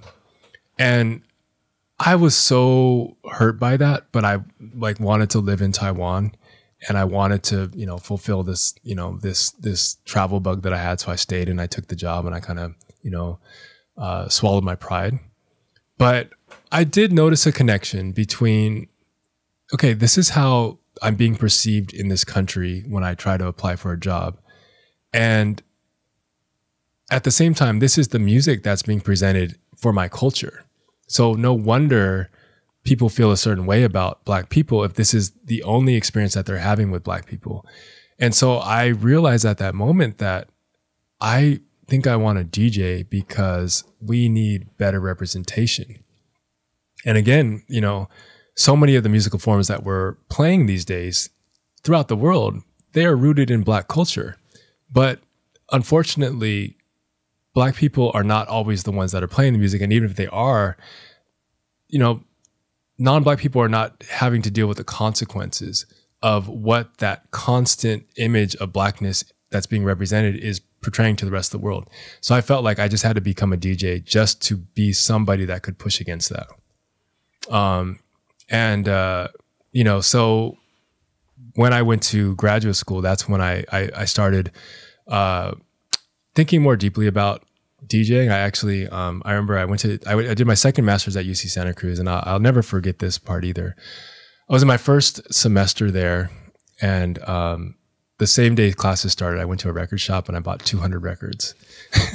I still have the picture of a crate of 200 records and the bus to UC Santa Cruz coming to pick me up with my records. and that was the moment that I was like, I'm going to become a DJ. Um, but that was further propelled. Like my, my father died about a year later. My father, who was a drummer, um, you know, when he died, I was like, oh, what do I do? How do I make sense of life without my father here? And I just remember that night that he died sitting in my apartment and I just put on records that he would listen to. And it was like, okay, he's still here. And that is what made me a DJ. Um, I think about my dad every time I DJ. So, going to Soul Source, um, yeah, it's a it's a continuation of that. The representation, the soul of music that I felt from my father. Um, and Carlos, sorry, I'm getting choked up again. I knew this was going to be hard. Um, but yeah, Carlos, bless, bless, bless his heart. Carlos is someone that I met through the dance community through open house. And, uh, yeah, he just, yeah, uh, unquestionably good person. I couldn't be happier to work with that man. Um, and he's such a he's such a student of like dance and I, I'm not. I mean, I, I danced when I was when I was uh, younger, but I don't consider myself a dancer. I, um, but Carlos is a dancer. Carlos is a tremendous dancer, and he's a tremendous human. And he is such a student of dance that he was able to connect so many different communities. You know, we met through open house, but Carlos has been working in so many dance communities. He knows he's friends with the popping community and the locking community, and he took tap dance. And uh, he's he was a b boy. Like he knows so many people.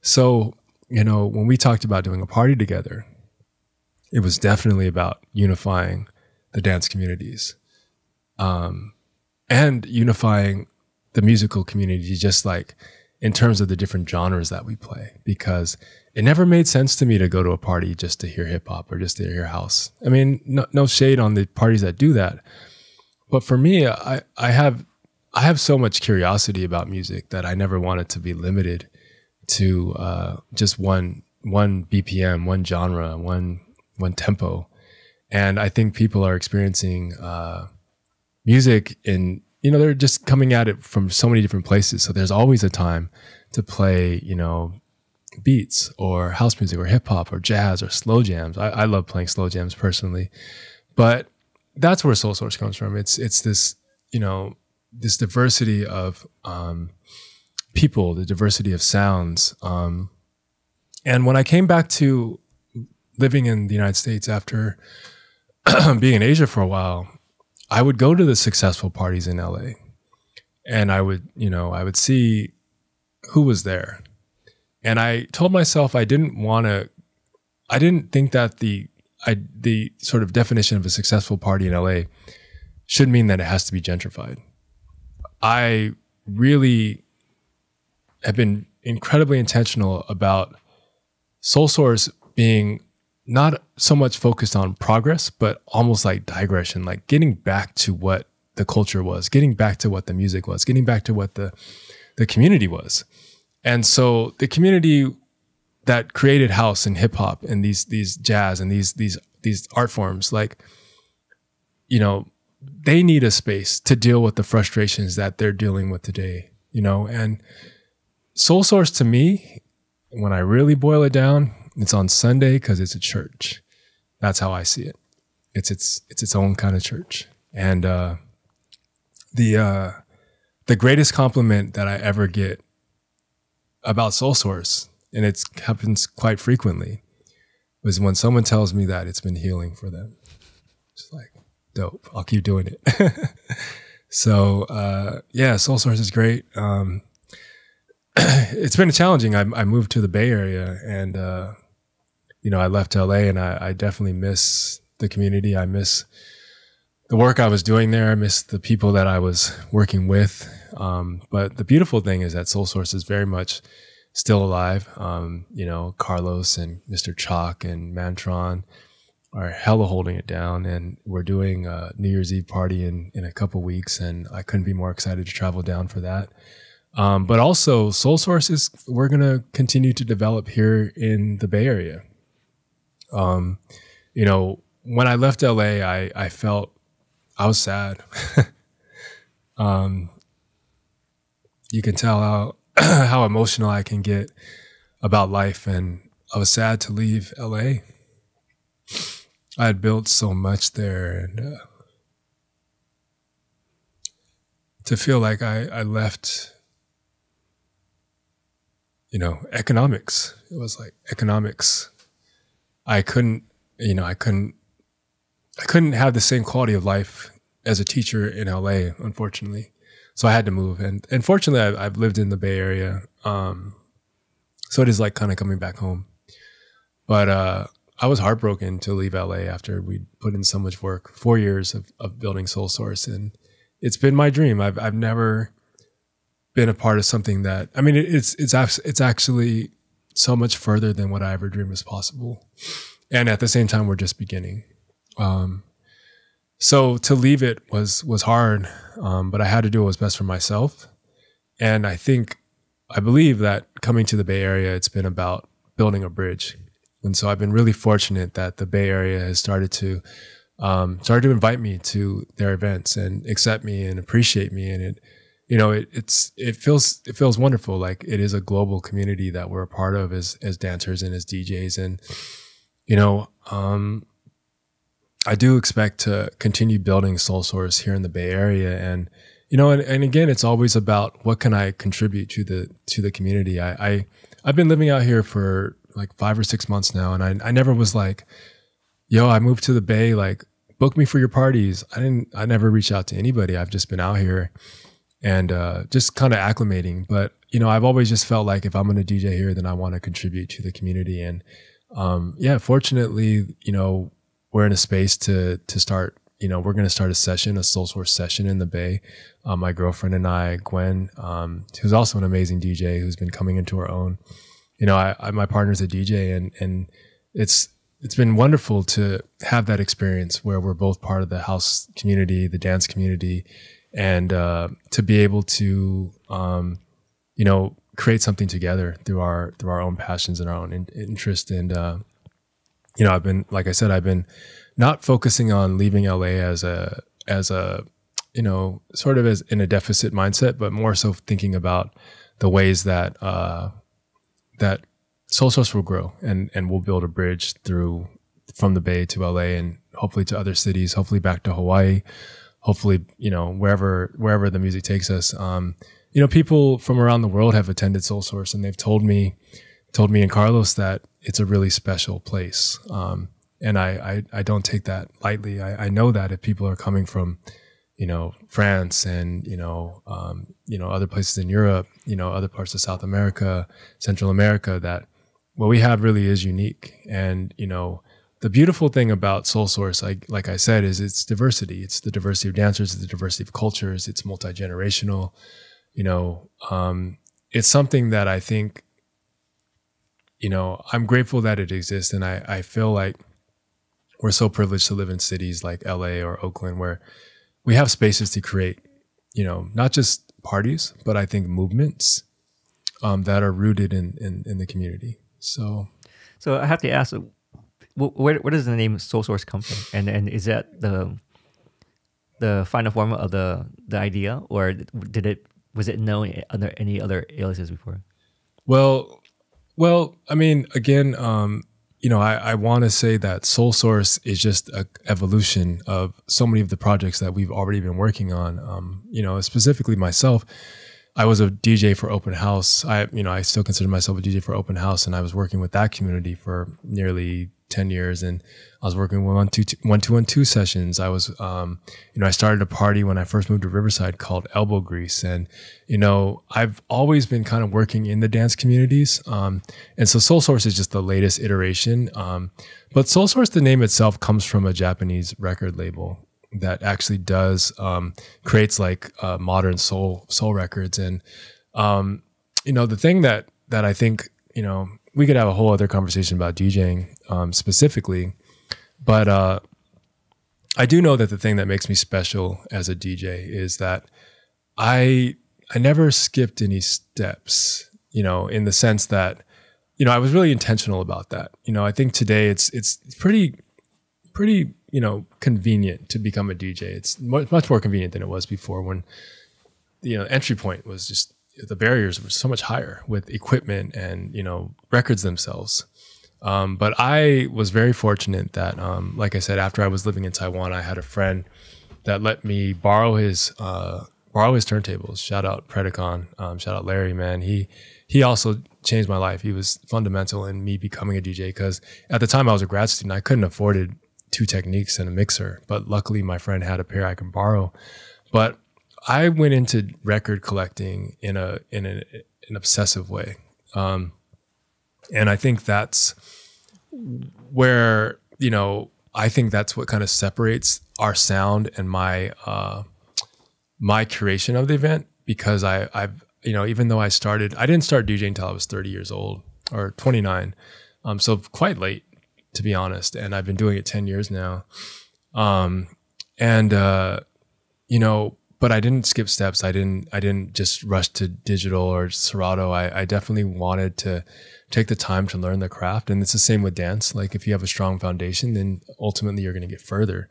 And I think that's, you know, again, that's, that's kind of the advice that I have for any DJs that are coming up. Like, respect the craft like learn from learn from the masters like i've been fortunate to know mr choc he's been a mentor to me um, he was my well he was yeah my i was i was, I was kind of self-taught with djing but mr choc when i moved to la i was able to work with him at scratch academy i, I wasn't even working with him that much at beat junkies institute i worked with him at scratch academy when i first moved out there and um, you know he taught me some of the fundamentals and and the fact that i work with mr choc now on soul source I mean, that's a dream come true. I mean, this is a, a you know a legend in in DJing. Um, he was a, a, member of the Fantastic Four. He's a Power 106 DJ. You know, most hip hop heads grew up listening to Mr. Choc um, in LA, and the fact that you know, you know, I was listening to him and other beat junkies like 20 years ago. I remember just religiously listening to those tapes, J Rock, Rhettmatic, like Melo-D, all these cats, um, you know, Babu, and and you know, they were the authors of so much of the music that I was listening to at the time because they were putting out mixtapes. And to be able to work with Mr. Choc and to know these DJs now, it's like I'm I'm absolutely living a dream right now doing Soul Source. It's it's mind boggling to me. What what are um are the roles that everyone has in there within Soul Source? Like you, Carlos, and Mr. Choc. So Mr. Choc is our OG, you know, and and I love that the story of Soul Source with, when it relates to Mr. Choc is that he didn't join us till like almost a year. I think he officially joined us on our one year anniversary, but Mr. Chalk was there at our first event when we first started when we may have had 20 people there. And that meant so much that, you know, this is a, you know, world renowned DJ that came to our little two bit party and he was showing support since day one. Um, Choc and I actually had talked about doing a party previous to Soul Source, but I kind of told him like, I think I have something coming with Carlos and then we we ended up eventually linking up. But um, so Carlos is, I mean, Choc is like the OG. He hosts the party, um, and you know, unfortunately, he wasn't there last month, and I, I was hella missing him. I was like, man, I need my I need my dude here. Um, but he's he's an OG. You know, he's he's a he's a legendary party rocker, and um, so he's kind of like the uncle. You know, he's the uncle for us, and he he kind of just holds us down.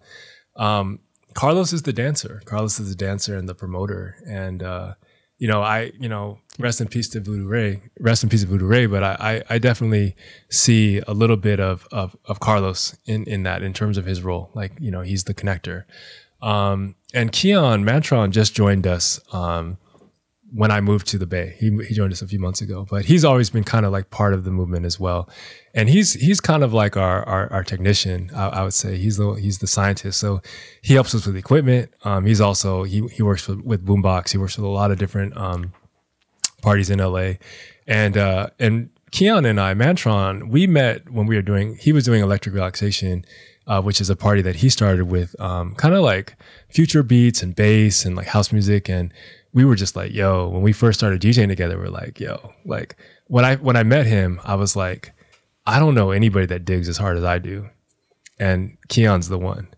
and that's a real thing. Like there's a lot of DJs that don't dig like, you know, they dig or they just like they kind of bite off people's stuff. And it's the same. It's the same with with dance and everything. It's competitive, right? But you know, you definitely recognize the people that are doing the work. And so I've always respected Keon because he hella does the work. And so we were inevitably supposed to work work together, I think. And so he joined us with Soul Source when um, when I decided to move. And then for me, I mean, I I I'm a DJ. I'm I'm the resident DJ. Um, and I do think that like um, I, I do a lot of the booking. I do a lot of the communication. Um, and you know, I, I feel like it is kind of my baby. Like I've been, you know, um, I've just been I've been so invested in it, and you know, you know, Carlos and I who started it, like we've just worked so hard at creating this, and you know, it's hard for us to take credit for what it is, though. I, I have to admit because you know, like I said, it is built on the backs of things like one two one two sessions and open house and all these other dance movements that have been in existence in LA homeland. Um, and so all we're doing is I tell people all the time is like we didn't build this ship. All we're doing is driving it right now, and um, you know we're sailing it and we're doing the best we can, and we're learning every time we do an event. And you know the you know it's it's it's not easy. It's not easy. We've been kind of a free party um, for most of our existence. You know we've you know I, have probably lost not a ton of money, but I've lost. It's an investment, and it's an investment that I've been privileged to be able to make for the community. But I don't think about that. I don't care about that because I know that it's it's healing. I know that it's church for people, so I have no problem, um, you know, giving my time and my energy to that to that movement. So yeah, in a way, it's um, community service, right? Doing doing stuff yeah. that you really really love. Have you, or Carlos, or yeah, just ever entertained the thoughts of like going full time with it, meaning um, using it as a form of income or as like a, like your full time career, so to speak? I mean, I've been privileged to not have to think about DJing in that way. Mm-hmm. Um, that's, I mean, I'm, I'm so privileged that I've had, you know, I've had a full time job while I've been DJing. So I've always been able to approach it as art. Yeah. And um, I don't think I'd like it if I had to approach it in that way, to be honest. Um, I get so much joy from it just being what it is. And, you know, I definitely want it to grow. Um, what we what we what we want to see happen is, you know, part of the reason why we created a, a, a party in a club was because I think that dance was a lot of what we were doing was dance sessions. And I think that the context that dancers were learning and experiencing these movements and these cultures was specific to dance sessions and classes and YouTube videos. And if you don't re- remember that these things started in parties and clubs, it completely decontextualizes it. So we were like, well, our job now is to create a party. Um, but I don't necessarily like doing it at a, at a club because the hardest thing about doing a party for dancers is that if it's at a club, our income, our revenue is generated through drink sales. And as we know, dr- dancers aren't the biggest drinkers. And I, I don't want to look at my friends or colleagues of the community as measuring them through the amount that they support the bar. Like I do want them to support the bar because that's part of the community, but I don't want to like look at them as customers. I want them to come enjoy themselves. They decide to, you know, spend money at the bar. That's great. But, you know, so what we want to do eventually is, is make it an outdoor event. And I, I do think that that's where we're evolving, um, for sure, where it can be free, hopefully, um, but definitely all ages is the is the move because as we're getting older, like our our communities, they're having kids and they should have the opportunity to be in those spaces as well. Yeah, absolutely. Um, have you ever attended the uh, the Fort Greene parties in in New York? I haven't, but you know that's that's literally the the model of, of what we want. Yeah, to create. I, I uh, like the thing that I love about New York and love about those events over there is it's clearly a lifestyle. It's generational. You know, right. like when you go to the Fort Greene parties, you'll see like the elders dance with the babies. The right. babies jump in the circle, and it's like they're passing it on very organically, right? Right. So I'm definitely um, with you on the. It, it, there's value in being outdoors and all ages. Right. Um, because I, I, think that that's how a culture really truly grows. It's not just like, hey, when you're 18, you can take yeah, this class, yeah. you know? yeah, yeah, facts. Yeah. yeah. yeah. Okay, great. Um, thank you for sharing everything that you have so far. Any any any shout outs you'd like to mention or any fun facts and achievements you'd like to share? Um, well, I just want to shout out my mom. Like I, I you know, I, I, just saw her last week and uh, I was in Hawaii and, um, yeah, I, mean, like I said, reflecting on what brought me to this moment, um, you know, it just made me really show a lot of gratitude for her journey. And, you know, I can't imagine what it is to be an orphan and to kind of be discarded, you know, from the world in a way and to be able to persevere through that and, and then to raise three, three boys in a new country with a black husband. And, you know, my, my, my father's not here anymore, but my mother's here. So I just want to thank her and, and give her praise. Um, and, uh, yeah, I, I just want to thank you, man. Like I, I want to thank you for giving me the, the opportunity to share my stories and and for all the all the guests that you've had on this show. I mean, you've had you know incredible community um, members and uh, and yeah, I think you, you're also doing really powerful work, man. And I, I just want to acknowledge that. I really appreciate it. Um, yeah, it, it's good to be uh, sharing this journey with everybody. You know, because I, I realize uh, no matter how big or small the cog is, like just just play your part and then do, do your best. Is what is what I'm, I'm, kind of simplifying my life into. yeah, man. So, yeah, thank you so much. And uh, yeah, man, I I, did want to say that, you know, one of the things I've been learning through my journey um, has been just trusting, trusting your intuition. I think that that's the advice I could give to people, and that's definitely played a role in you know me kind of going all along this path and then falling off the path and then appreciating it when I'm back on the path. And I definitely feel like I'm on the right path. Like literally being here with you in this moment, being in the Bay Area, I'm looking forward to what um, what happens here, what what I create, what kind of impact I can make, and uh, you know the things that even though it feels like I give a lot um, to the community, like it also gives a lot to me. So I, I just want to acknowledge that, it's it's a two way street as well. So. Yeah, for sure. You know, like I, I think one, one of the things I have, uh, two things I have. One is a BS meter, and one is a authenticity meter. Authentic meter, right? so I, my authentic meter for you is very, very high. You know, Thanks, just just so you know. Um, so I definitely want to appreciate and um, give my my gratitude for all the work that you, you've done, even though like I may not be in your classroom, but I love the idea that there's a passionate teacher out there that's so invested into his students because uh, you remember my, my, teaching experience was like, yeah, here's donuts uh, for, for, your rehearsal, and now transform to like what you're doing, which is I'm gonna like learn about my students. I'm gonna like share it in their journey and kind of like uh, see how you can present these difficult topics in a way that they understand. That takes a lot of work. That's that's like some extra mile like uh, energy. You know that that's not like like that, that's beyond bare minimum, right? Uh, don't get it twisted. I also give my students donuts and Kit Kats, but it's not in lieu of their education. It's it's in as a supplement. so, so, so, once again, I guess that's a commonality there, right? Donuts. yeah, I mean, kids like sugar. yeah, yeah. Wow, amazing. Um, so, uh, any last uh, closing remarks? Whether it's like um, people out in the journey, or like students, or maybe even adults who's uh, lost touch with being curious. You know, like what, what, what do you what do you have to say? I mean, again, I think it's it's that that notion of intuition. You know, like because I feel lost. I felt lost at many points in my life, and and I'm grateful to kind of, like I said, be back on the path. And and that's the thing I think I noticed at a very young age was like I I noticed when things, as you mentioned, like the BS meter, I knew when things were just kind of off. And didn't matter how how off it felt to the rest of society. If it felt off to me, like I I, I wasn't I couldn't be about that. It's kind of like when I, I had to choose between buying the LOX album and the Common Sense album. It's like, oh, I need to follow that path.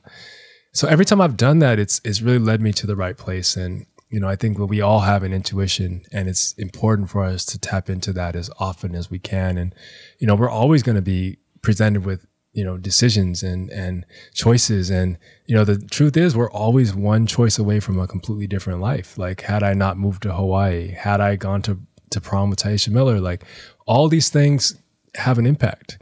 You'll never know if you made the right decision. The thing that you can do is just trust your intuition. And even if it ends up being the quote unquote wrong decision, like you learn from that. You know, you learn from what it felt like. Did you have questions about that choice? What did you learn about what what became of that consequence?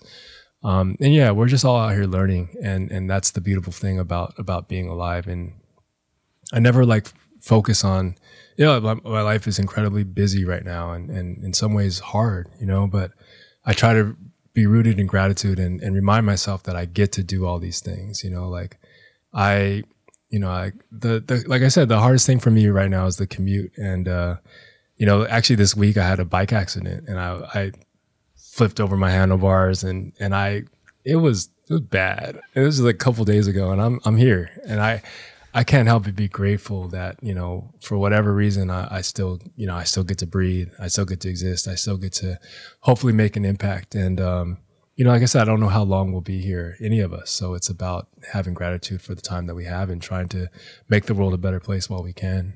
Yeah, thank you. Thank you so much. I definitely want to um, second what you said on intuition. You know, I think house music and the house culture was the first time I learned how to listen to my intuition, or I learned that I had intuition because uh, through the house culture, I saw that okay, this music is bringing people together, and they're like doing something that's that I never knew existed before.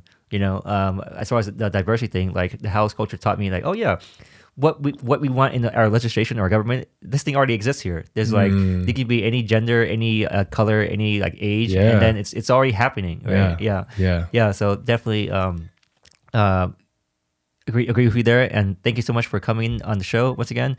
Um, hopefully you'll be on here again. Yeah, I would love to. Thank you so much for having me, Vin. Yeah, it was a pleasure. Yep.